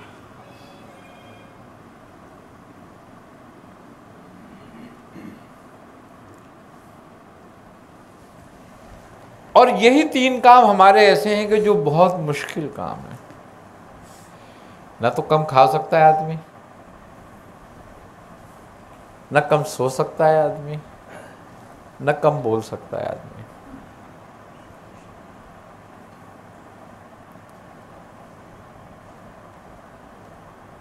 کیونکہ ہم خواہش کے مطابق کھاتے ہیں، خواہش کے مطابق سوتے ہیں اور خواہش کے مطابق بولتے ہیں۔ اور خوبی کی بات یہ ہے کہ ہم تین سال کی عمر میں بولنا شروع کرتے ہیں اور ساٹھ سال کی عمر تک یہ نہیں پتا ہوتا کہ کیا بولنا ہے اور کب بولنا ہے، کہاں بولنا ہے۔ اسی لیے نہیں پتا ہوتا کہ بولتے زیادہ ہیں۔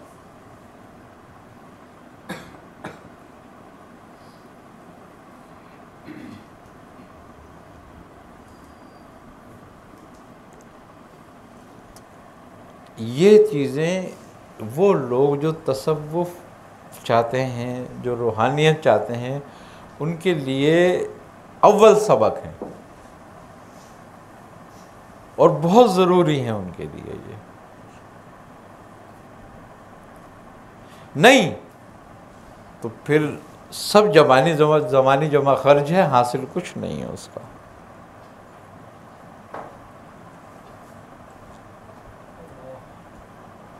آئی نہیں سمجھ میں بات۔ زیرو کو زیرو سے تقسیم کرو تو زیرو ہی نکلے گا۔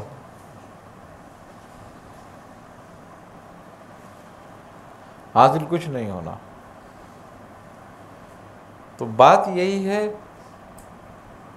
تصوف جو ہے، وہ دو، چار، پانچ باتوں میں پورا سرکل کرتا ہے بس۔ ورنہ تحمید تم جتنی چاہے لمبی باندھ دو اس کی۔ نتیجہ کچھ نہیں نکلنا۔ دیکھو، جو اس پہ عمل کرتا ہے نا، اس کو کسی تعویل کی ضرورت نہیں ہوتی۔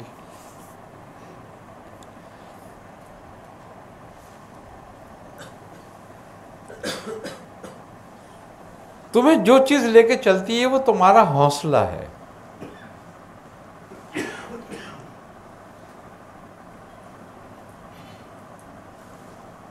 اور جب بندہ رب سے کے راستے پہ چلتا ہے تو رب اس کا حوصلہ بن جاتا ہے۔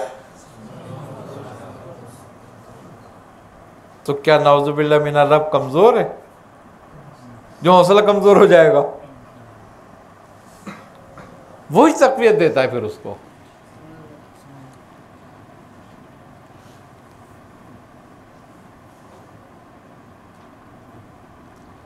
اب منصور کو انحق کہنے کی طاقت کس نے دی تھی؟ اور پھر سارے زمانے کو یہ بات دکھا دی کہ جو حق کے ساتھ ہوتا ہے، وہ کبھی پیچھے نہیں ہٹتا اپنی بات سے۔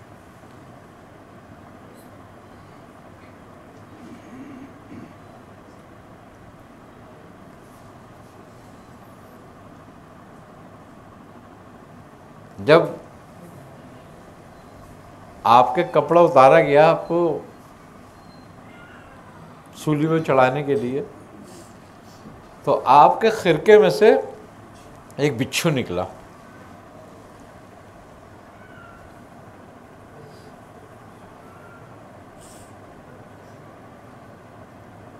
تو کہتے ہیں کہ وہ بچھو جو تھا،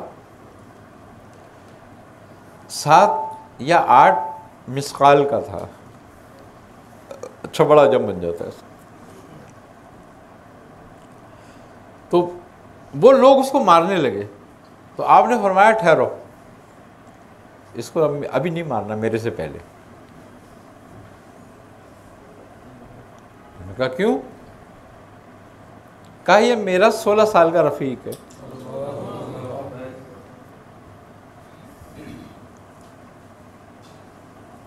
اس نے آپ کے چولہے میں گھر بنا لیا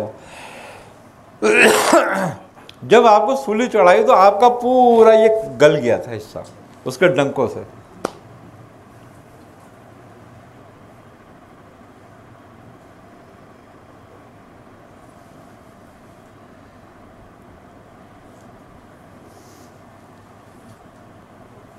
بڑا مشکل کام ہوتا ہے۔ تنقید کرنا بڑا آسان کام ہوتا ہے۔ دنیا میں اگر کوئی سب سے آسان کام ہے تو وہ تنقید کرنا اور جو سب سے بہترین مشغلہ ہے وہ مشورہ دینا۔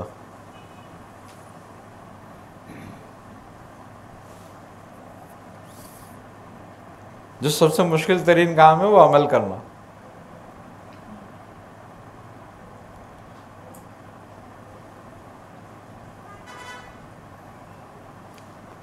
بات کیا تھی؟ دکھانا یہ تھا کہ اللہ کی محبت اور اللہ کا عشق آپ پر اس قدر غلبہ کر گیا تھا کہ آپ نے اس موزی کو بھی نہیں مارا یا ہٹایا اپنے پہ سے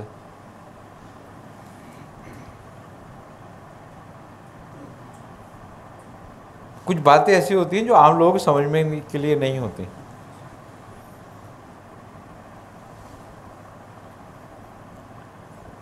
اور وہ نہ ہی سمجھے اور نہ ہی توجہ دیں، غور کریں تو اچھا ہے۔ اب شیخ عبد القادر جیلانی ایک واقعہ بیان کرتے ہیں کہ میں نے دو لاشیں دیکھیں اور بری طرح ان کو توڑا ہوا تھا۔ جیسے درندوں نے توڑا ہو، پھاڑ کے کھایا ان کو۔ تو جب مراقب ہوئے آپ، تو آپ نے پوچھا کہ رب یہ کون تیرے بندے تھے؟ جن کو اتنی اذیت دی گئی ہے۔ تو فرمایا کہ اے عبد القادر یہ ہمارے دونوں عاشق تھے۔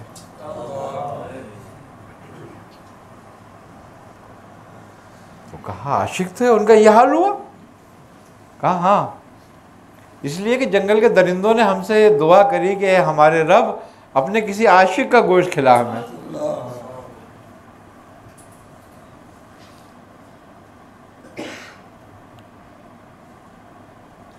تو ہم نے یہ ندا ان تک پہنچا دی۔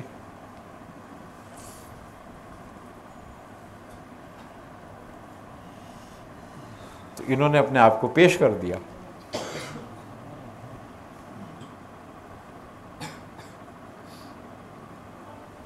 اب عقل والی بات ہے یہ کوئی؟ عقل سلیم ہے یہ عقل سلیم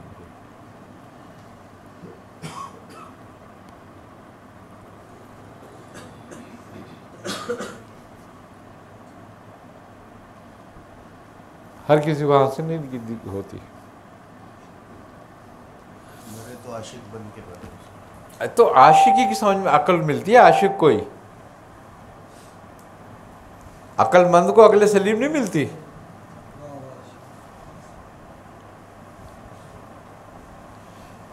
ایک محاورہ ہے نا کہ آل علم حجاب الاکبر۔ تو علم حجاب کب بنتا ہے؟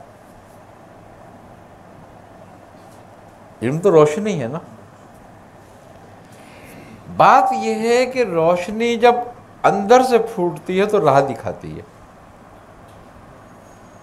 اور سامنے سے آئے تو اندھا کرتی ہے۔ اگر باہر سے آئے منہ پہ تو اندھا کرتی ہے۔ اور اندر سے نکلے تو راہ دکھاتی ہے۔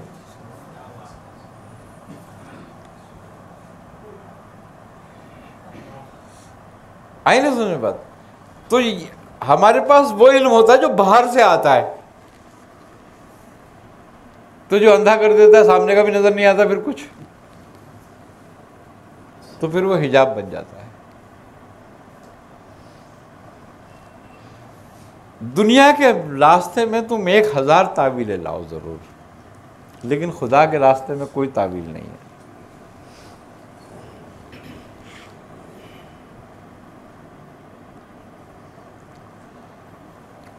اور وہ علم جو خدا کے راستے میں تعویلیں لاتا ہے نا، سمجھ لو گمراہی ہے۔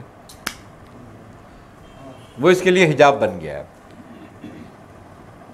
اب یہ علم کبھی بھی نہیں چاہتا کہ یہ علیم کے قرب حاصل کر لے۔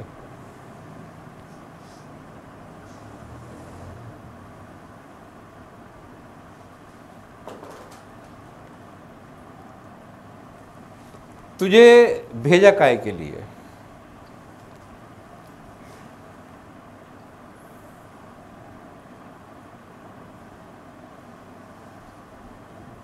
اپنے لیے بھیجا تھا نا۔ اب اس میں کیا تعویل؟ کہ نہیں میں یہ کر رہا ہوں، میں وہ کر رہا ہوں، میں یہ کروں گا، میں وہ کروں گا۔ ساری دنیا کا نظام میری وجہ سے رک جائے گا، اگر میں نہیں ہوں گا دنیا میں تو۔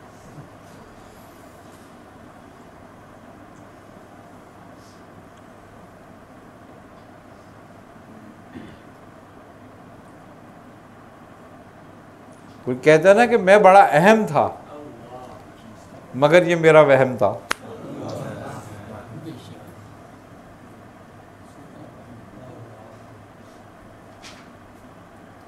کوئی اہم نہیں ہے۔ اہم وہی ہے جس نے اس کے راستے کو اپنا لیا۔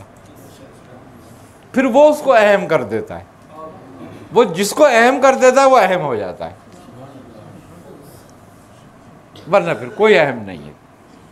سب ایک جیسے ہیں، کائنات میں۔ سارے، بس اتنا سا فرق ہے، وہ حیوان سامی تھے اور تو حیوان ناطق۔ ہے روز مرتے ہیں حیوان؟ کیا فرق؟ بلکہ دیتا ہی مارنے کے لیے کاٹنے کے لیے۔ تو تو بھی مر گیا تو کیا کیا؟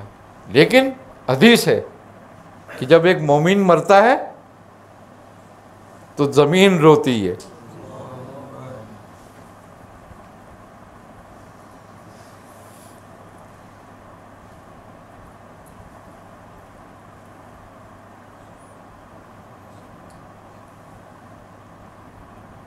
تو وہ اہم ہوا نا پھر۔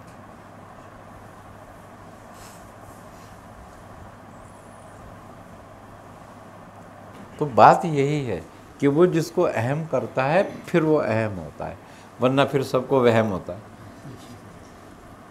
کچھ بھی نہیں ہے۔ تو ہم اس وقت تک، جب تک کہ عملی طور پہ قدم نہیں رکھتے، نتیجہ حاصل نہیں ہوتا۔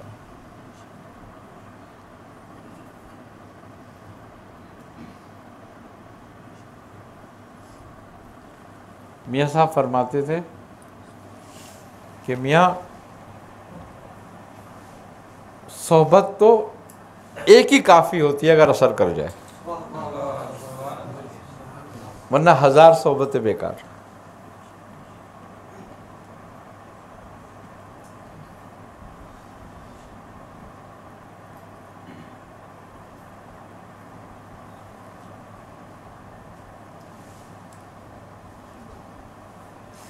نتیجہ کیا کہ اگر کوئی بات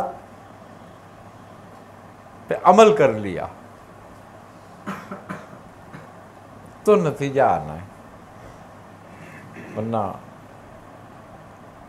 ایک سو چودہ صورتوں کا پورا قرآن موجود ہے۔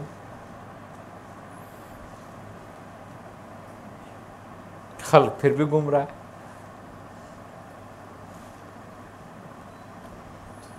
یہ جو یعنی مریدین اس میں ہوتے ہیں تربیت میں ہوتے ہیں اپنے اپنی شیوخ کی واقعی جن کی تربیت ہو رہی ہوتی ہے تو بعض اوقات وہ دور ہوتے ہیں اپنی شیوخ سے تو یہ ان کو کون سی بات ذکر کرنی چاہیے اپنے شیخ کو؟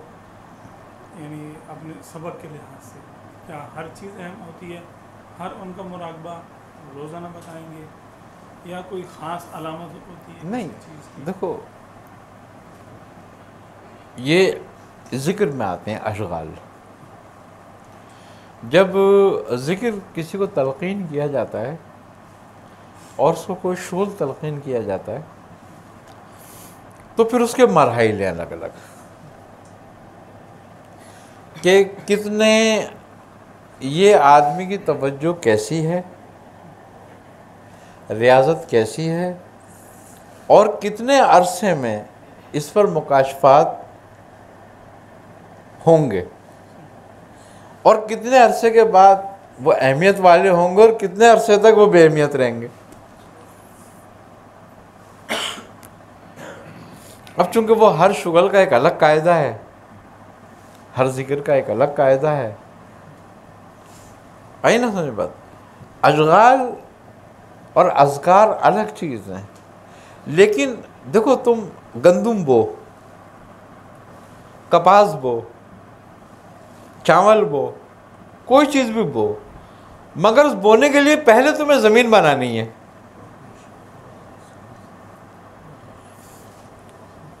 اگر زمین بنا لو گے تو پھر جو فصل بو گے وہ کھڑی ہو جائے گی۔ تو تصوف گویا زمین بنانا ہے۔ اور ذکر بیجے اس میں ان کے جو ذکر وغیرہ جو آپ کی جیسے تربیت میں اپنی بات ہم کرتے تھے کہ جو آپ کے زیر تربیت ہیں اگر ان کو کچھ بھی اس دوران میں نظر آتا ہے تو ہاں۔ ہر چیز آپ کو بتانی چاہیے؟ کوئی مشاہدہ ایسا ہے جو غیر معمولی ہے؟ پھر تو صحیح ہے۔ اور معمولات میں سے ہیں۔ کوئی مسئلہ نہیں ہے۔ غیر معمولی اور معمولی کا فرق میں نہیں پتہ چلتا کہ ہم کسی چیز کو معمولی سمجھتے معمولی مشاہدات وہ ہوتے ہیں کہ جو خلق سے تعلق رکھتے ہیں۔ کہ کسی نے اپنے آپ کو گھوڑے پہ بیٹھا ہوا دیکھ لیا کسی نے اپنے آپ کو شیر پہ بیٹھا ہوا دیکھ لیا کسی نے اپنے آپ کو ہاتھی پہ بیٹھا ہوا دیکھ لیا کسی نے اپنے آپ کو سانپ میں گھرا ہوا دیکھ لیا کسی نے اپنے آپ کو اڑتے ہوئے دیکھ لیا۔ اب یہ مشاہدات تو ہوتے رہیں گے۔ کیوں؟ کہ سالک کے مشاہدات، ذاکر جو ذکر کرتا ہے، شغل کرتا ہے، کوئی بھی شغل کرے وہ۔ ہر شغل کا ایک ہی وہ مقصد ہوتا ہے۔ طریقے الگ الگ ہوتے ہیں۔ تو ہر شغل کا جب مقام انتہا پہ پہنچتا ہے، تو وہ ساری خلق کے دیدار کے بعد ہی پہنچتا ہے۔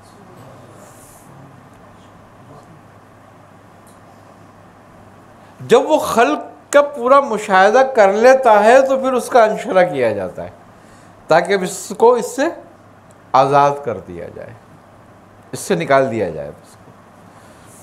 آئی سمجھ میں بات۔ اور جب وہ انشرہ ہوتا ہے تو پھر اس کا مطلب یہ ہے کہ اب وہ ملا، مقام ملاکوت میں داخل ہو گیا ہے ناسوت سے۔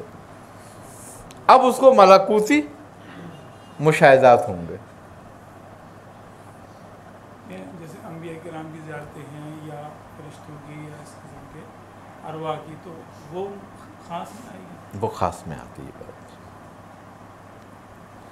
اور یہ ساری چیزیں دیکھنا عام باتوں میں سے۔ کیونکہ تم جو اذکار کر رہے ہو، تمہارا ابتدائی اذکار زبان ہے۔ سمجھنا یہ مقام ناسوت ہے۔ تو ناسوت میں جتنی بھی خلق ہے، وہ سب ظاہر ہوگی آئی نا سمجھ بات۔ اب اس کے بعد ذکر قلب آتا ہے۔ تو جب ذکر قلب میں ہم داخل ہوتے ہیں تو مقام ملکوت ہے۔ اور جب ہم ذکر روحی میں داخل ہوتے ہیں تو مقام جبروت ہے۔ اور جب ہم سری میں داخل ہوتے ہیں تو مقام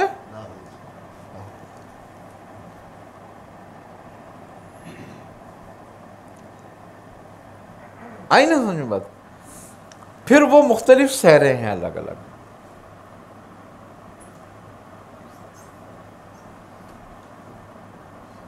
آگے نہیں سمجھ بات۔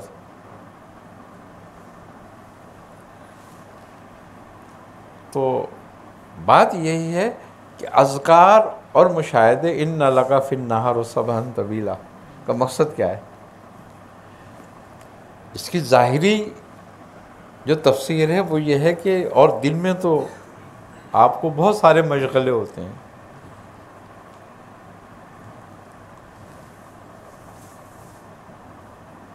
آئی نا سمجھ بات۔ صوفیہ کیا ہے اس کی جو تفسیر ہے وہ یہ کہتے ہیں کہ یہ ایک لمبی سیر نورانی۔ آئی نا سمجھ بات۔ سبحان طویلہ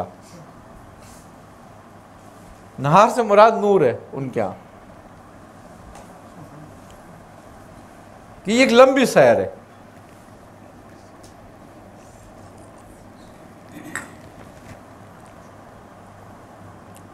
جو ناسوس سے شروع ہوتی ہے اور لاہور تک چلی جاتی ہے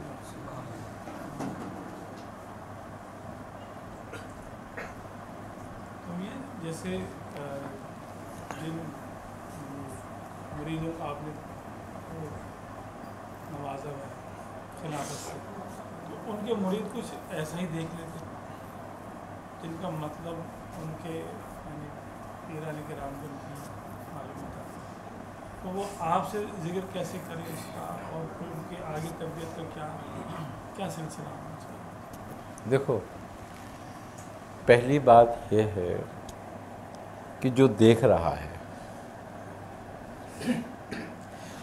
اس کی دو حالتیں ہیں۔ ایک حالت تو یہ ہے کہ وہ اس مقام میں آ کے دیکھ رہا ہے۔ جیسے مثال کے طور پر ایک آدمی صدر میں کھڑا ہوا ہے، وہ صدر ہی دیکھ رہا ہے۔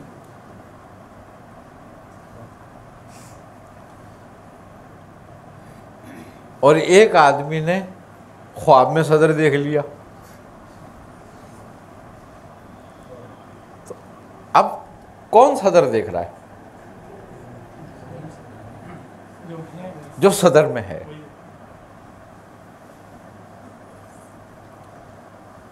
آگے نہیں سمجھ بات۔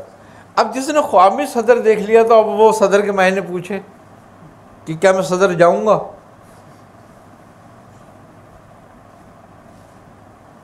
اب جاؤں گا سے مراد یہ کہ ابھی بڑا لمبا کام ہے۔ آئی نا سمجھ بات؟ تو پھر یہ ہے کہ وہ جو ان کے جو مکاشفات ہوتے ہیں، وہ ابھی اس اہمیت کے حامل نہیں ہوتے۔ کہ جس کو تم غور کرو، فکر کرو اس پہ۔ ابھی جس آدمی کو، ایک بات ہے، اپنے ذکر کا بھی شعور نہیں ہے۔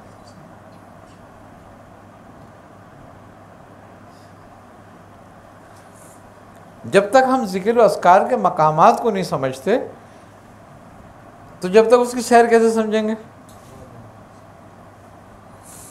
اب بات یہ ہے کہ نبی کریم صلی اللہ علیہ وسلم کی زیارت ایک مومن کو بھی ہوتی ہے، ایک عالم کو بھی ہوتی ہے، ایک ولی کو بھی ہوتی ہے، ایک فاسق اور فاجر کو بھی ہوتی ہے۔ سب کے معنی ایک ہیں۔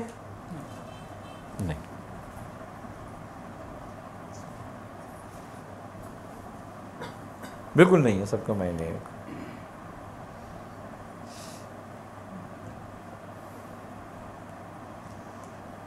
آئی نا سمجھ میں بات۔ کسی کی حضوری ہے تو کسی پہ فضل ہے۔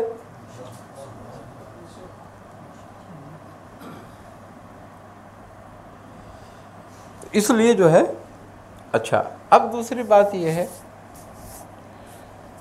کہ جو خلفہ ہوتے ہیں یعنی کہ جن کو خلافت اور اجازت ہوتی ہے، ضروری نہیں ہوتی کہ ان کی تربیت مکمل ہونے کے بعد ہی ان کو خلافت اجازت دی جاتی ہے۔ خلافت اور اجازت دینے سے مقصد یہ ہوتا ہے کہ اب ذمہ داری سے پورا کرے، اپنی منزل کو۔ مرید ذمہ دار نہیں ہے۔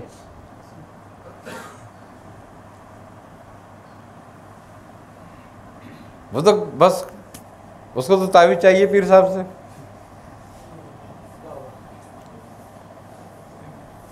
آئی نا سمجھ بات، کہ اچھا کام ہو جائے اچھا مال مل جائے، اچھی نوکری مل جائے اچھا کاروبار ہو جائے، اس سے اس سے مطلب نہیں دوسری بات سے۔ لیکن خلافت کے معنی کیا ہے کہ اپنا نائب مقرر کرنا۔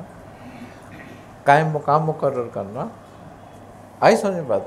یا اس کو اس تدریس کے لیے، اس تبلیغ کے لیے، اس دعوت کے لیے تیار کرنا۔ اب کیا ہوتا ہے کہ ایک کلاس میں ہیں، سو بچے ہوتے ہیں، اس میں دو چار بچوں کو چنا جاتا ہے کہ بھئی یہ ہونہار ہیں، ان پہ توجہ دی جائے۔ تو یہ آگے کچھ کر لیں گے، باقی پچانوے، چھیانوے بچے جو ہیں، یہ تو بس ایسے ہی ہیں، سب۔ آئی یہ اپنا وقت پاس کرنے آ رہے ہیں، پڑھنے نہیں آ رہے۔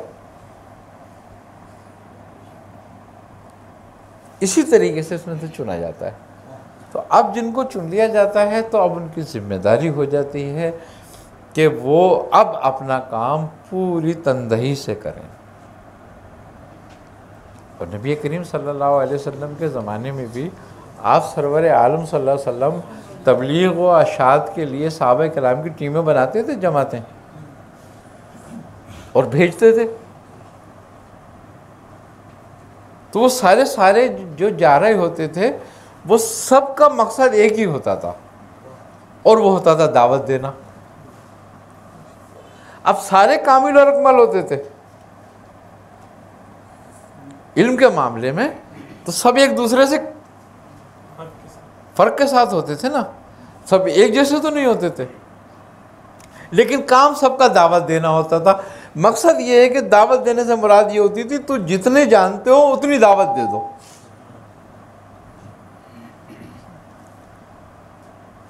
آگے پھر کوئی تم سے زیادہ جاننے والا آئے گا، وہ اس کو اور آگے بڑھا دے گا۔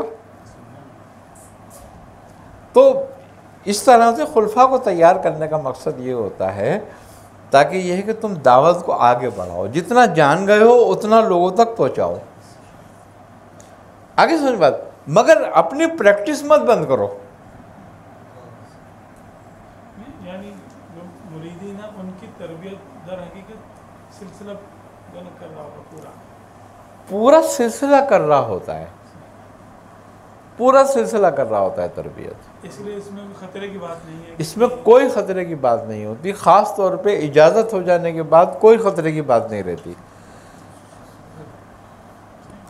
جیسے سوال کیا گیا تھا اگر وہ اہمیت کے حامل ہوں گے تو وہ اصل تک خود پہنچ جائیں گے۔ اگر وہ اس اہمیت کے حامل ہوں گے تو وہ آٹومیٹکلی اصل تک پہنچ جائیں گے۔ دیکھو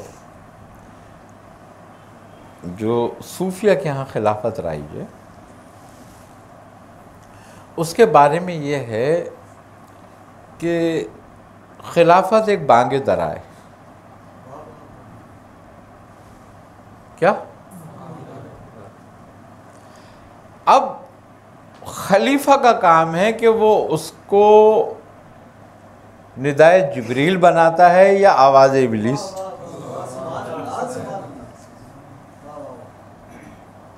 یہ اس کی ذمہ داری ہو جاتی ہے۔ آئی نا سمجھ میں بات۔ مگر بزرگ کہتے ہیں کہ ہیرا چاہے نگ انگوٹھی میں جڑا ہوا ہو، چاہے نالی میں پڑا ہوا ہو، ہیرا ہی ہوتا ہے۔ بس اس وقت وہ اپنے مقام میں نہیں ہوتا، تو اس لیے بے توقیر ہوتا ہے۔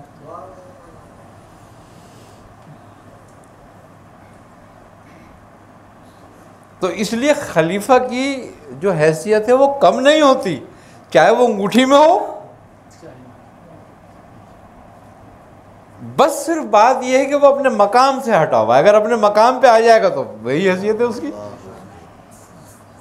حضرت، اگر پیر اور مرید، پیر صاحب مریدی کے ٹائم میں جیسے میں مرید ہوں، میں خلافت تک نہیں پہنچ سکا میرے پیر مثال کر رہا ہے تو میں اب اس میں کیا مزید دیکھو، بزرگان دین فرماتے ہیں کہ اگر کوئی شخص روحانیت میں قدم رکھے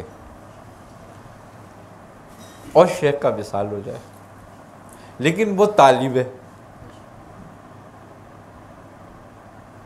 تو وہ کسی بھی شیخ سے بیعت کر کے تربیت لے اور اپنی تربیت مکمل کرے۔ اس میں کوئی کبہات نہیں ہے۔ دیکھو، ایک ایسے بزرگ، حضرت داتا گنج بخش علی حجویری رحمۃ اللہ تعالیٰ علیہ، جن کی تعریف سرکار شیخ عبد القادر جیلانی رحمۃ اللہ علیہ بھی فرماتے ہیں۔ آپ نے اپنے شیخ کے علاوہ تین سو اولیاء اللہ سے ملاقات کری اور تربیت حاصل کری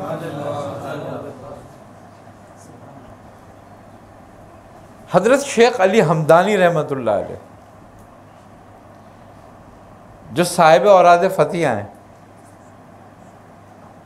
آپ نے اپنے دور میں سات سو سے زائد کاملین اولیاء کی خدمت میں حاضری دی اور ان کی صحبت اختیار کری۔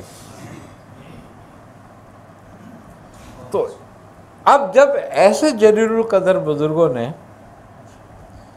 کوئی وہ نہیں کری۔ تو پھر میں اور تم کیا؟ اب ہمارے ہاں یہ ایک بڑا مسئلہ ہے پیروں کا۔ کیونکہ ہم ہمارے ہاں پیر ہیں گنتی پر، تعداد پہ۔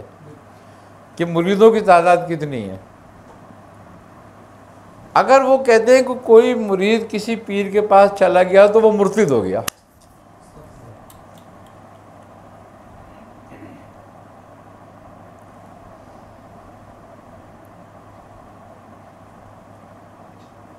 مرتد تو وہ ہوتا ہے جو رسول سے پھرے۔ تو تو رسول ہو گیا۔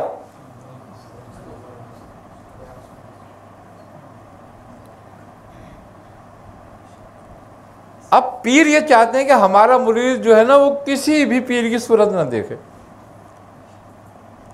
کیوں؟ کہ کسی پیر کی صحبت دیکھ لی اس نے تو پھر ہمارے اب نظر آنے لگیں گے اس کو۔ اور یہ تو پھر ہمارے لیے مصیبت بن جائے گا۔ خوبی کی بات یہ ہے کہ حضرت سیدنا شیخ شہاب الدین سہر وردی رحمۃ اللہ تعالیٰ علیہ، کتنا بڑا نام ہے۔ بانی ہیں آپ سہر وردی سلسلے کے۔ اور آپ کے بارے میں حضرت سیدنا شیخ عبد القادر جیلانی رحمۃ اللہ علیہ فرماتے ہیں کہ اے شیخ شاہ، اے شہاب الدین، میرے بعد، کیا؟ تم عراق کے سب سے مشہور مشاق میں سے ہوگے تو آپ کے جو پیر تھے، شیخ نجیب الدین سور وردی آپ کی تربیت انہوں نے فرمائی۔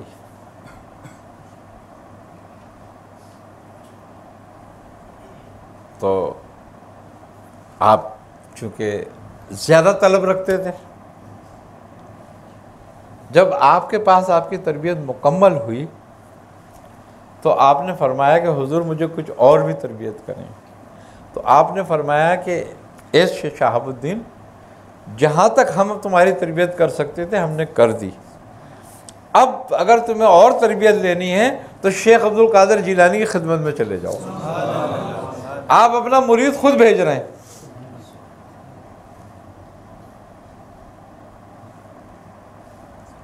اور آپ آئے، آپ نے آپ سے بیعت کری، آج قادری سوروردی سلسلہ نہیں ہے آپ کا۔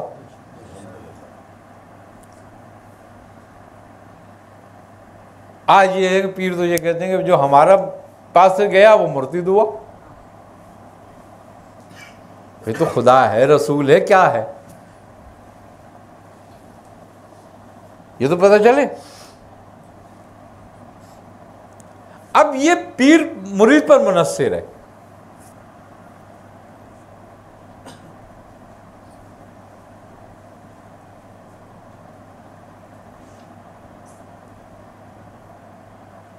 آئی نا سمجھ بات کہ وہ نہیں جاتا، اس کی مرضی ہے۔ وہ ایک الگ میٹر ہے۔ لیکن پابند کرنا، یہ ایک غلط بات ہے۔ یعنی کہ یہ کانسیپٹ قائم کر لینا کہ ہمارا مرید اگر کسی پیر کے پاس گیا تو یہ مرتد ہو گیا بس اب۔ اب یہ خارج الایمان ہے۔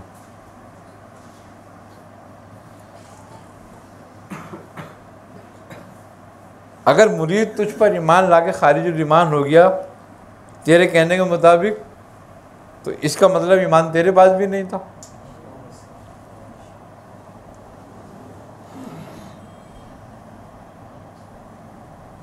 سیدھی بات تو یہی ہوئی۔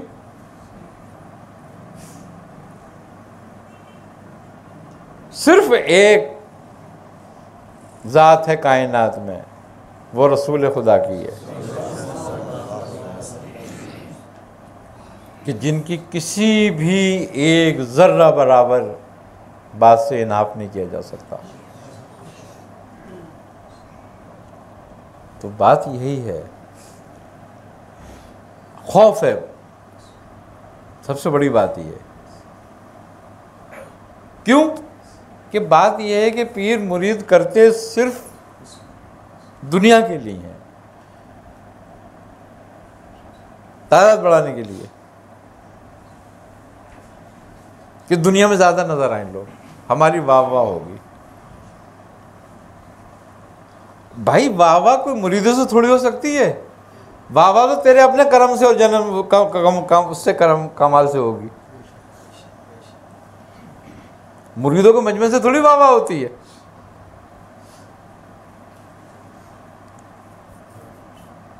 اور مزے کی بات یہ ہے کہ تو ان میں مقبول اور وہاں مردود ہو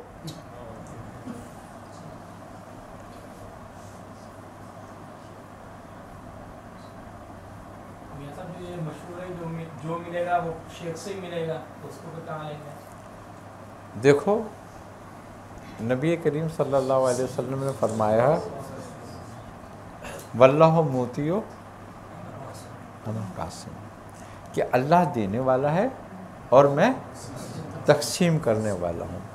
تو پیران اکرام صوفی اکرام جو آپ کی سن، تحت ہیں، جو آپ کے زیر قدم ہیں، ان کو یہی ذل حاصل ہے۔ کیا؟ تقسیم کرنے والا ہے وہ۔ تو اس لیے کہتے ہیں شیخ سے ملے گا۔ آئی نا سمجھ میں بات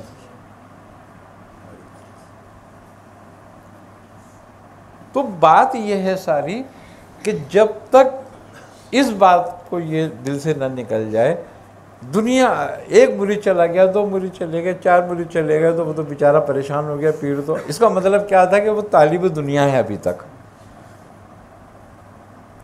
میاں صاحب فرماتے تھے کہ میاں، پیر ایک چڑی مار ہے۔ کیا؟ سمجھتے ہو چڑی مار کسے کہتے ہیں؟ جال لگانے والا۔ اور اس کا جو آستانہ ہے، وہ چڑیا خانہ ہے۔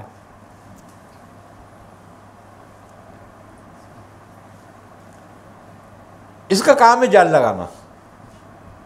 اب اس میں پرندے آن کے پھنستے رہیں گے، پھنستے رہیں گے، پھنستے رہیں گے۔ تو اس کا مطلب اور مقصد چڑیے طوطے کبے پکڑنا نہیں ہے۔ یہ جال لگا کے بیٹھا رہتا ہے کسی باز کے لیے کہ وہ پھنس جائے آن کے۔ کہ جب وہ پھنس گیا تو اس کی محنت وصول ہو گئی۔ پھر سارے چڑی طوطوں کو آزاد کر دے رکھے جو چاہے کرے۔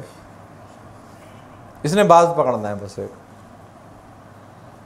آئی نا سمجھ میں بات؟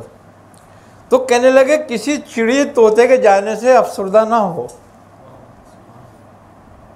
اپنا کام کرتے رہو۔ تو جب سے لے کے آج تک ہمارے ذہن میں تو یہی بات رہی۔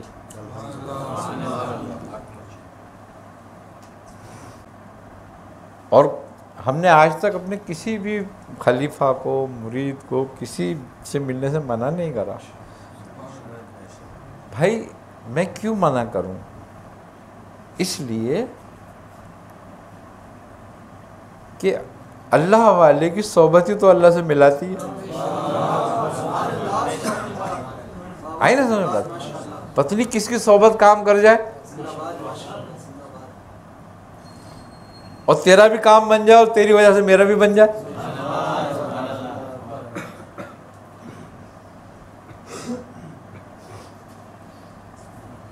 کیونکہ جو کام ہم اللہ کے لیے کر رہے ہیں تو پھر اللہ والوں سے بوجھ کیوں رکھیں؟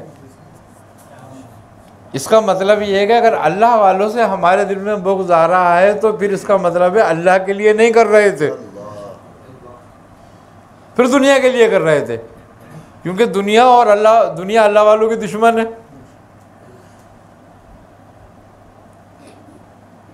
اسی لیے ہمارے دل میں اللہ والوں کی طرف سے بغض آ رہا ہے۔ تو بات یہ نہیں ہے۔ بات یہ ہے کہ پھر دوسری بات یہ بھی ہے میاں صاحب فرماتے تھے کہ اگر تمہارے دل میں اپنی برتری ہے،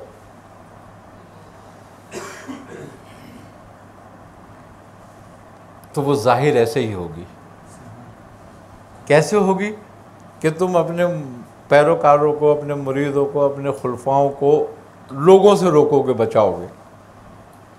تو لوگوں، اللہ والوں سے جب بچاؤ گے تو اس کا مطلب یہ ہے کہ تم اپنے آپ کو ان سے زیادہ بہتر سمجھتے ہو۔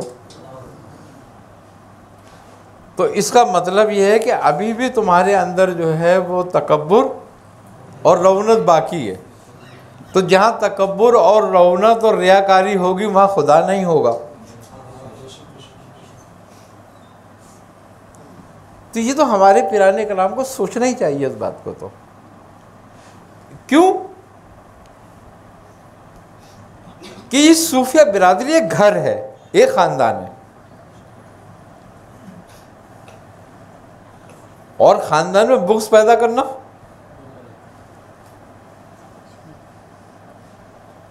دیکھو، مزے کی بات یہ ہے کہ اس امت میں کتنے گروہ ہیں؟ کتنے فرقے ہیں؟ تہتر۔ اور حاسد کی عدد حسد کی عدد کتنے؟ ہیں؟ بہتر۔ حسد کی عدد بہتر ہے۔ تو جہنم میں کتنے؟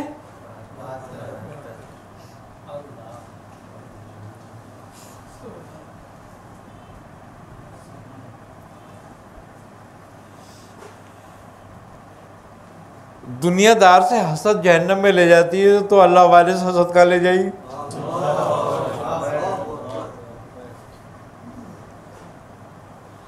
تو جو حسد سے خالی ہوا اور آری ہوا، وہ ناجی ہوا۔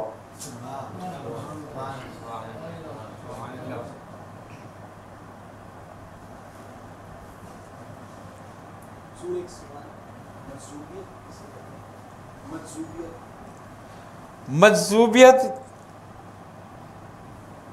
یہ ہے کہ جب ذکر کا اللہ کے اور اللہ کے عشق عقل پہ غلبہ کر جائے تو مجذوب ہو جاتا ہے آدمی۔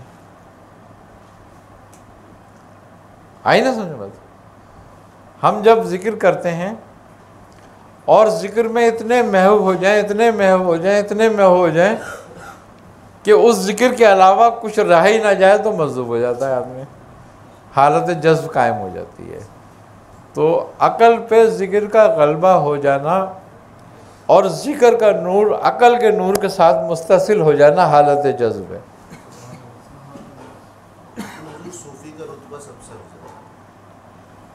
صوفی کا رتبہ افضل ہے، اس لیے کہ صوفی کی ابتدا صدق اور صفا سے ہے اور یہ صدیقین سے ہے۔ تو نبیوں کے بعد کس کا ذکر کیا قرآن نے؟ صدیقین کا۔ نبیین، صدیقی و و صالحین۔ اس لیے صوفی کا مرتبہ بڑا ہے، لیکن صوفی ہونا بہت مشکل کام ہے۔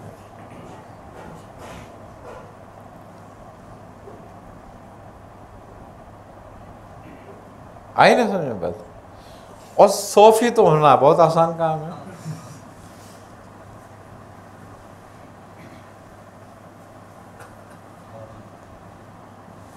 اب چاہے اس کو ملا کے پڑھ لیں۔ چاہے تفقو کے ساتھ پڑھ لیں۔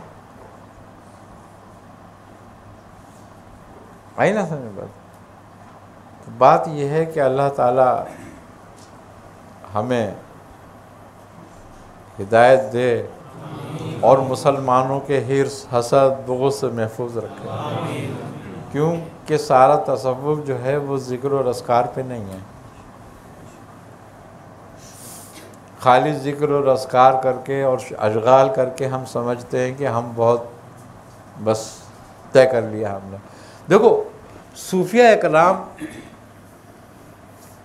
کیا کرتے تھے؟ یہی نمازیں پڑھتے تھے، یہی روزے رکھتے تھے، یہی ذکر و اسکار کرتے تھے، اور اس سے زیادہ کیا کرتے تھے؟ لیکن پھر اتنے مقبول کیوں ہو گئے؟ ہم بھی یہ سب کچھ کرتے ہیں مگر مقبول نہیں ہوتے۔ اس کی وجہ کیا تھا؟ اس کی وجہ یہ کہ ہم جو کچھ کرتے ہیں اپنے لیے اور یا دنیا کے لیے کرتے ہیں، وہ جو کچھ کرتے تھے اللہ کے لیے کرتے تھے۔ تو جب بندہ اللہ کے لیے کرتا ہے، تو خلق سے اس کی نظر ہٹ جاتی ہے۔ اور جب خلق سے اس کی نظر ہٹ جاتی ہے، تو خلق کی طرف سے دی گئی تکلیف اور خلق کی طرف سے دی گئی راحت، وہ دونوں کو رب کی طرف سے جانتا ہے۔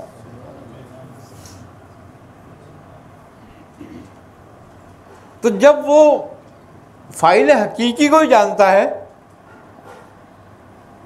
تو فیل سے اس کو کوئی شکوہ نہیں ہوتا۔ آئی نا سمجھو بات۔ تو وہ تکلیف دینے والوں کو برا نہیں سمجھتا پھر۔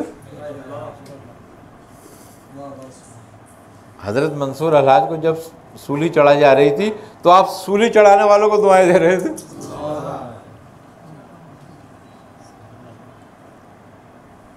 کیا بات تھی کہ جانتے تھے نا کہ رضا ان کی تھوڑی ہے؟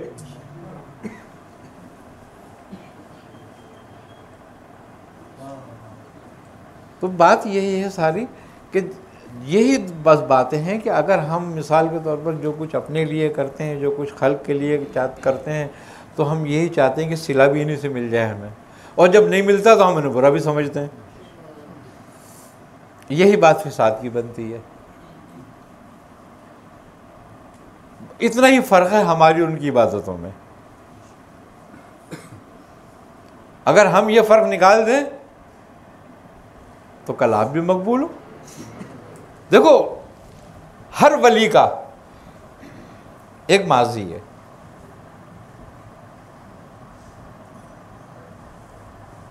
اس نے اپنا ماضی ضائع نہیں کیا تھا۔ ہر ولی کا ایک ماضی ہے۔ اور ہر آسی کا ایک مستقبل ہے۔ اب وہ چاہے تو اپنے مستقبل کو اس کے ماضی کی طرح کر لے۔ تو یہ بھی ولی ہو جائے گا۔ ولی کے لیے کوئی مہر نہیں لگائی ہوئی کہ بھائی یہ ہوگا، یہ نہیں ہوگا۔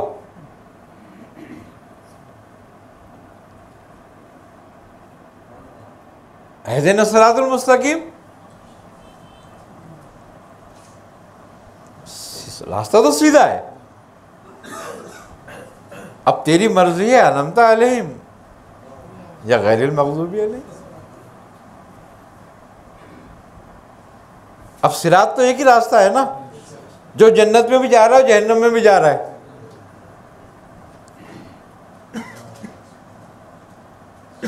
اسی میں سے گزر کے جنت میں جانا پڑے گا نا۔ وہاں بھی دیکھو ایک ہی سرات ہے اور دو راستے ہیں۔ نتیجے دو ہیں۔ سرات ایک ہے۔ یہاں بھی سرات ایک ہے، نتیجے دو ہیں۔ کہ جس کو گناہ زیادہ ہوں گے، وہ کٹ کے جہنم میں گر جائے گا۔ اور نہیں تو جنت میں چلا جائے گا۔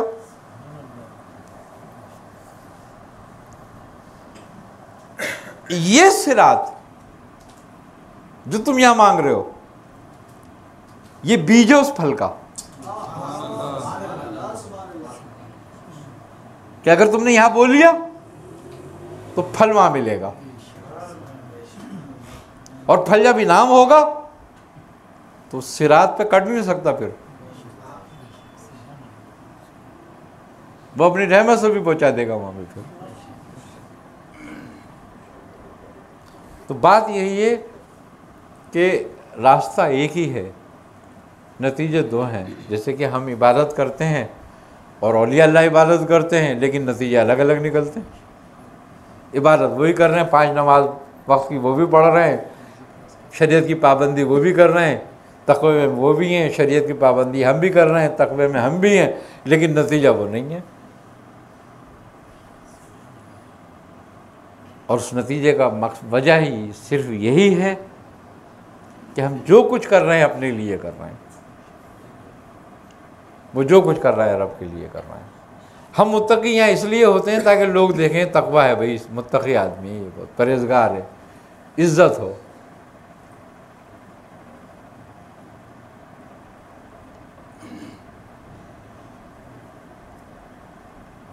اور جبکہ عزت تو بندے کے ہاتھ ہے ہی نہیں۔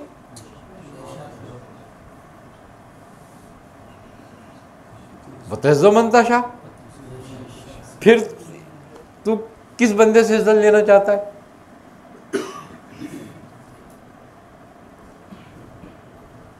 اور تجھے بندے سے ذلیل ہونے کا خوف ہے تو بندے کے ہاتھ میں ذلت ہے نہیں؟ بتذلو منتا شاہ تو پھر جب خلق کے ہاتھ میں کچھ نہیں ہے تو پھر تو کر کیوں رہا ہے اس کے لیے؟ اس میں نام کیوں چاہتا ہے؟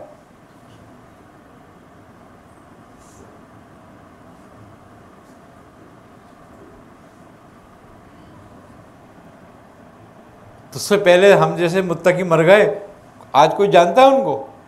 کوئی بھی نہیں جانتا۔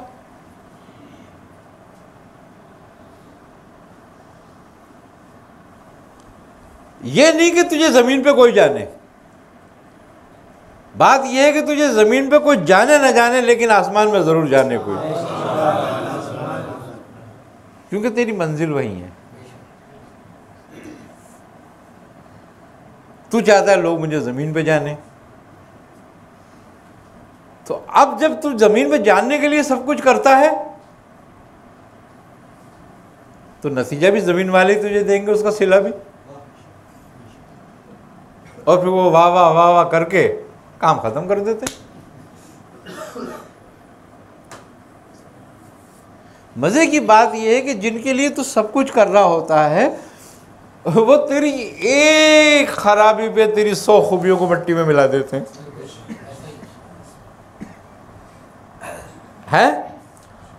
اور جس سے تم وہ موڑنا ہوتا ہے، وہ تیری ایک خوبی پہ تیری سو خرابی مٹا دیتا ہے۔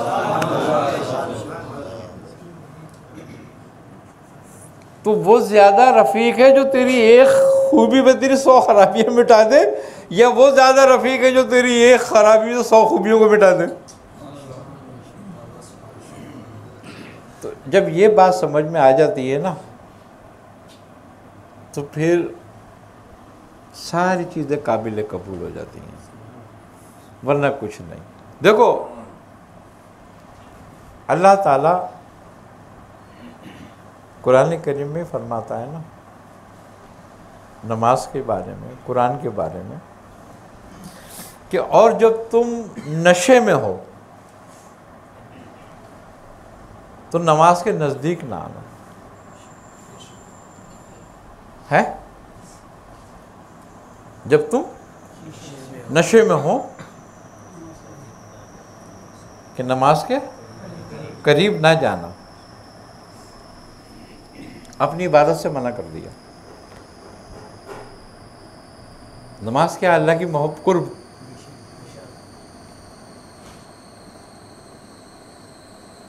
اللہ سے ملاقات کرنے کا نام ہے نا۔ وہ کہہ رہے نہیں، اس کے نزدیک نہ آنا وہ نشہ کتنی دیر کا ہوتا ہے؟ تم نے شراب پیے چرس پیے افیم کھائی ہے گانجا کھایا ہے، بھنگ پی لی ہے کتنی دیر میں اتر جاتا ہے؟ چند گھنٹوں میں۔ جو چیز چند گھنٹوں میں اتر جانے والی ہے، اس کے بارے میں وہ کہہ رہا ہے کہ میرے نزدیک نہیں آنا اس نماز کے۔ میرے ذکر کے نزدیک نہیں آنا۔ یعنی کہ اپنا ذکر بھی پسند نہیں ہے اس کو۔ جبکہ دعوت دے رہا ہے۔ مگر منع کر رہا ہے کہ نزدیک نہیں آنا۔ وہ نشہ جو دو چار گھنٹے میں اتر جاتا ہے، مگر وہ نشہ جو کبھی نہیں اترتا، طاقت کا نشہ، تکبر کا نشہ، علم کا نشہ، وہ قریب آئے تو کیا ہوگا؟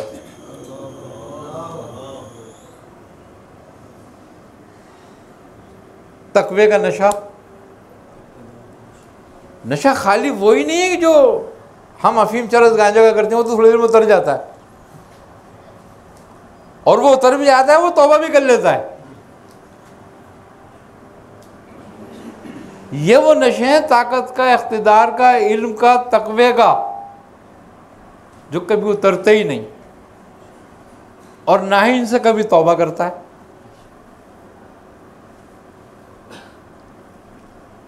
اگر کسی متقی کو اپنے تقوی کا نشہ ہو جائے، تو کوئی اتار سکتا ہے اس کا نشہ؟ تو نشہ تو نشہ ہے۔ نشہ گویا آدمی کو اندھا کر دیتا ہے۔ اس کی عقل کو معاف کرتا ہے، غلبہ کر لیتا ہے۔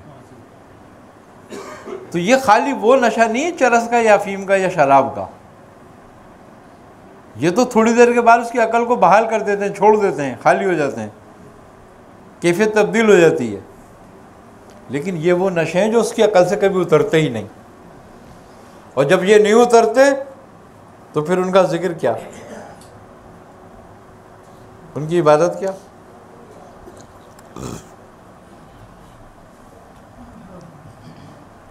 سمجھنے والی بات یہ ہے کہ تجھے کس چیز کا نشہ ہے؟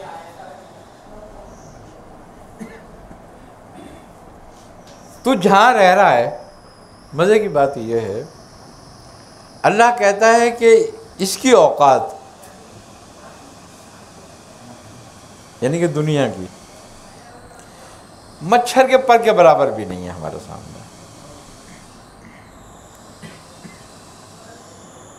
تو جس کی اوقات رب کے سامنے مچھر کے پر کے برابر بھی نہیں ہے، تو اس میں تو کس نشے میں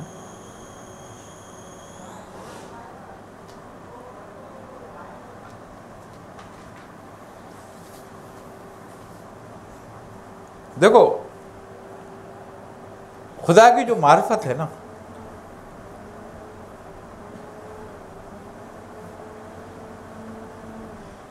وہ صرف دنیا کو پہچاننے کے راز ہیں۔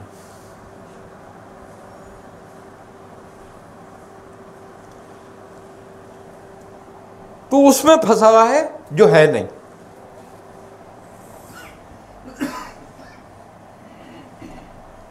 اور اس سے منہ موڑ رہا ہے جو ہے۔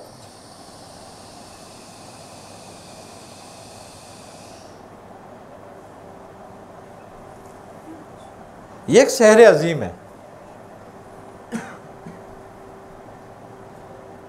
دنیا کو کسی بزرگ نے ایک بہت خوبصورت عورت کی شکل میں دیکھا۔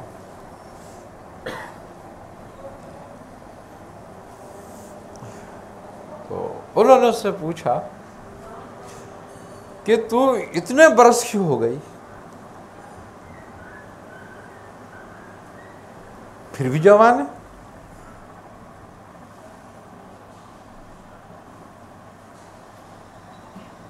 تو وہ مسکرائی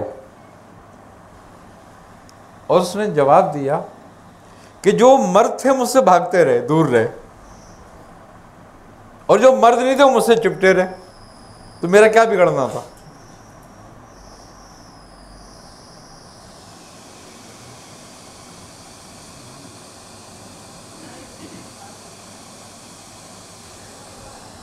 تو بات کیا ہے؟ اس کی ابتدا یہ ہے کہ ہم زندگی کو خواہش پہ نہیں ضرورت پہ گزاریں۔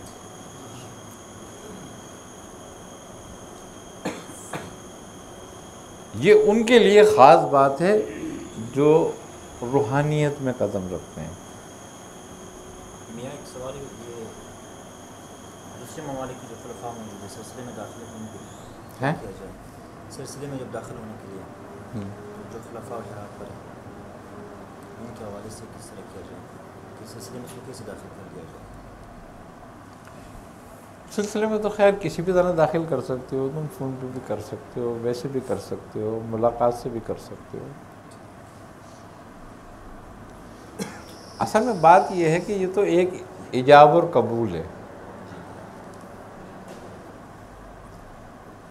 اور یہ ایجاب اور قبول جو ہوتا ہے، یہ صرف ایک ہی بات پر ہے۔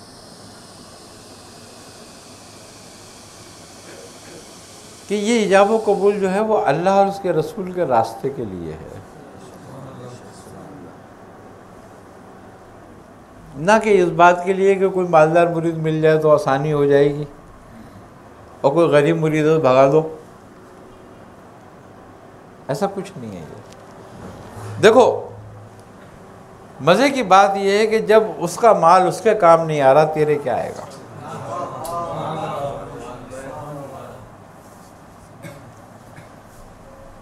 سیدھی بات تو یہ حضرت بہلول دانا کو ہارون رشید نے کہا، ہارون رشید کے پیر تھے یہ۔ زبیدہ کی بھی پیر تھے، ملکہ زبیدہ کے۔ اور ہارون رشید کے یہ رشتے میں بھائی بھی لگتے تھے۔ تو اس نے کہا کہ میں کچھ جائیداد زمینیں تمہارے نام کر رہا ہوں۔ تو آپ اس کو دیکھتے رہے۔ تو اس نے کچھ رقبے کا نام لیا اتنے گاؤں یا اتنے علاقے تمہارے نام لکھ رہا ہوں۔ اس نے کہا، کم ہے۔ اس نے اور بڑھا دیے۔ آپ پھر بھی اس کو دیکھتے رہے۔ پھر اس نے اور بڑھا دیے۔ تو اس نے کہا، کیا کم ہے یہ؟ تو پھر آپ مسکرائے۔ آپ نے فرمایا، دنیا تو ہم نے دنیا بنانے والے سے نہیں لی۔ تو تجھ سے کیا لیں گے؟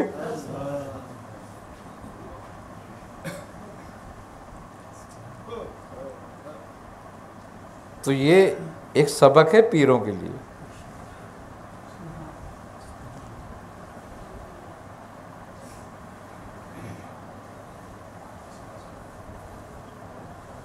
آئی نا سمجھ بات، کہ جب دینی ہے تو اس نے خود دینی، نہیں تو کسی نے نہیں دینی۔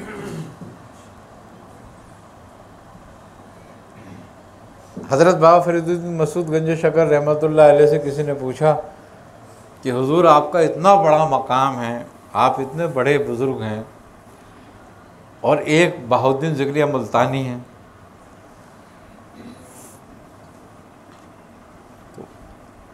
وہ بھی بزرگ ہیں۔ مگر ان کے تو گھر میں صرف کام کرنے والے نوکر چاکر جو ہیں وہ تین سو کے قریب ہیں۔ آپ بادشاہوں سے زندگی گزارتے تھے، حضرت بہودین ذکریہ ملتانی۔ تو آپ نے فرمایا کہ اپنے اپنی قوت کی بات ہے۔ انہوں نے کہا، کیا؟ انہوں نے کہا، ان کی قوت مجھ سے زیادہ ہے، برداشت انہوں نے کہا، یہ کیا بات ہوئی؟ کیا آپ کو کچھ نہیں ملا؟ آپ نے فرمایا، ملا، مگر ہم نے بانٹ دیا۔ انہوں نے کہا، آپ کو کیا ملا اور آپ نے کیا بانٹ دیا؟ آپ نے فرمایا، ہمیں جمال بھی ملا، ہمیں جلال بھی ملا۔ اور ہمیں شان و شوکت بھی ملی، مگر ہم نے بانٹ دیا۔ انہوں نے کہا، حضرت، ہم نے تو کبھی بھی آپ کے پاس کچھ نہیں دیکھا۔ آپ نے فرمایا کہ یہ تو ہم جب ہی بانٹ چکے تھے، جب دیا گیا تھا۔ تو کہا، کیا؟ کہا، جلال، ہم نے مخدوم صابر کو دے دیا۔ اور جمال، ہم نے جمال الدین قطب ہاسبی کو دے دیا۔ اور شان و شوقت نظام الدین کو دے دی۔ تو ہم تو بانٹ کے بیٹھے۔ آپ ایسے درویش تھے کہ آپ کے بچے کا انتقال ہو گیا۔ پہلے وہ بیمار ہوئے۔ تو آن کے بتایا کہ حضرت آپ کا بچہ بیمار ہو گیا۔ آپ نے کہا میں فرید کیا کر سکتا ہے؟ دوا دوست آپ اپنے چلے میں تھے مصروف؟ یاد میں؟ پھر وہ آئے۔ انہوں نے کہا، حضرت، شدید بیمار ہو گیا ہے۔ آپ نے بولا، فرید کیا کرے گا اس میں؟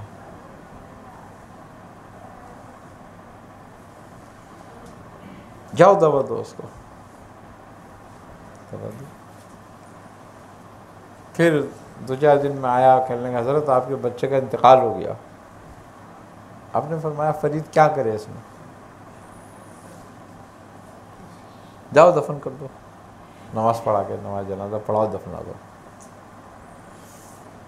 تو انہوں نے کہا، حضرت، کفن نہیں ہے۔ تو آپ نے فرمایا، جن کپڑوں میں اسی میں دفنا دو۔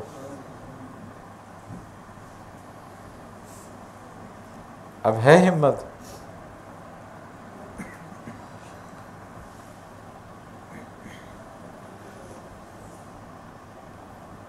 دیکھو، ہمیشہ یاد رکھو، جب آنکھ ہوتی ہے نا، تو دور تک کا نظر آتا ہے۔ کسی کی دور کی نگاہ کمزور ہوتی ہے، کسی کی نگاہ تیز ہوتی ہے، اس کو دور تک نظر آ رہا ہے، جس کی کمزور ہوتی ہے، تم کہتے ہو، یار، فلاں جگہ کھڑا ہوا ہے، فلاں چیز وہ کہے گا، نہیں، مجھے تو نظر نہیں آ رہی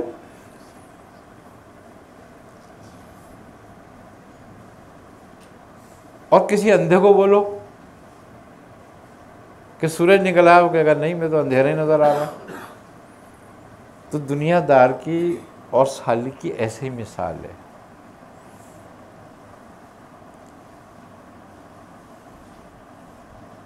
کہ وہ جو کچھ دیکھ رہا ہوتا ہے، وہ رضا دیکھ رہا ہوتا ہے۔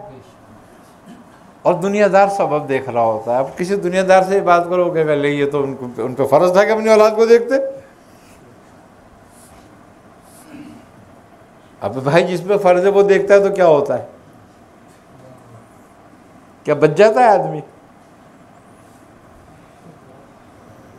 بات یہی ہے کہ جس نے رضا کو سمجھا، وہ کامیاب ہوا۔ اور جس نے سبب کو جانا، تو سمجھ لو اس نے سبب کو ہی اپنا معبود بنا لینا اب جو چاہے سبب کی عبادت کرے اور جو چاہے مسبب کی اجازت کرے۔ مولا کائنات فرماتے ہیں کہ جن کو رزق تلاش کر اور رات کو رازق کو۔ کیوں؟ کہ اس کے بغیر صبح رزق نہیں ملے گا۔ بات یہی ہے کہ اللہ تعالیٰ ہمیں سمجھے سمجھانے کی توفیق عطا کرے اور اس پہ عمل کرنے کی توفیق عطا کرے۔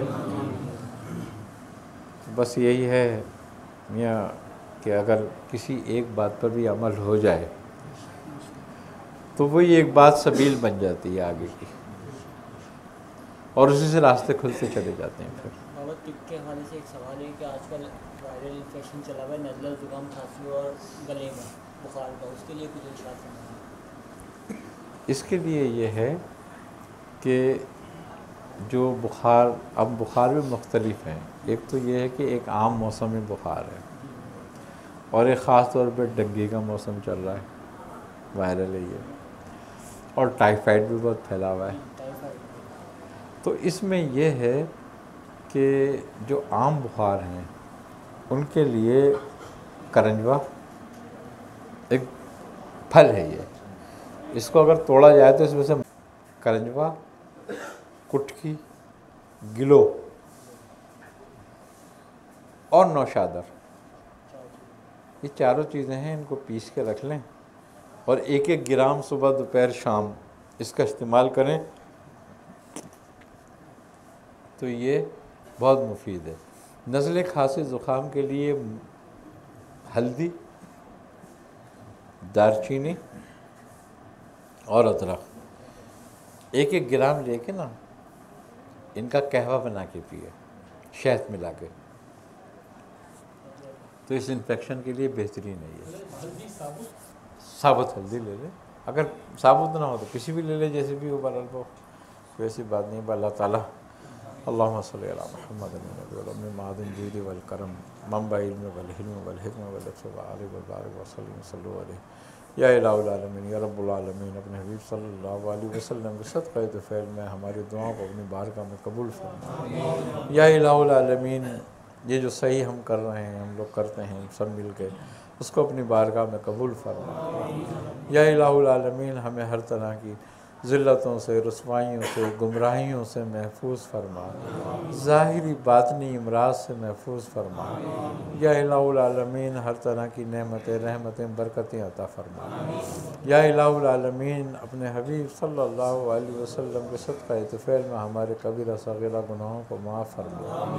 یا الہ العالمین، اپنے حبیب صلی اللہ علیہ وسلم کے صدقہ اتفیل میں جو ہم سے پہلے مومن، مومنات، مسلم، مسلمات، صالحین، صالحات دنیا سے رخصت ہو چکے ہیں، ان سب کی مغفرت فرما۔ ان کو اپنے جواہر رحمت میں جگہ عطا فرما۔ یا الہ العالمین، اپنے حبیب صلی اللہ علیہ وسلم کے صدقہ طفیل میں ہمیں ہمارے بزرگوں کے نقش قدم پہ چلنے کی توفیق عطا فرما۔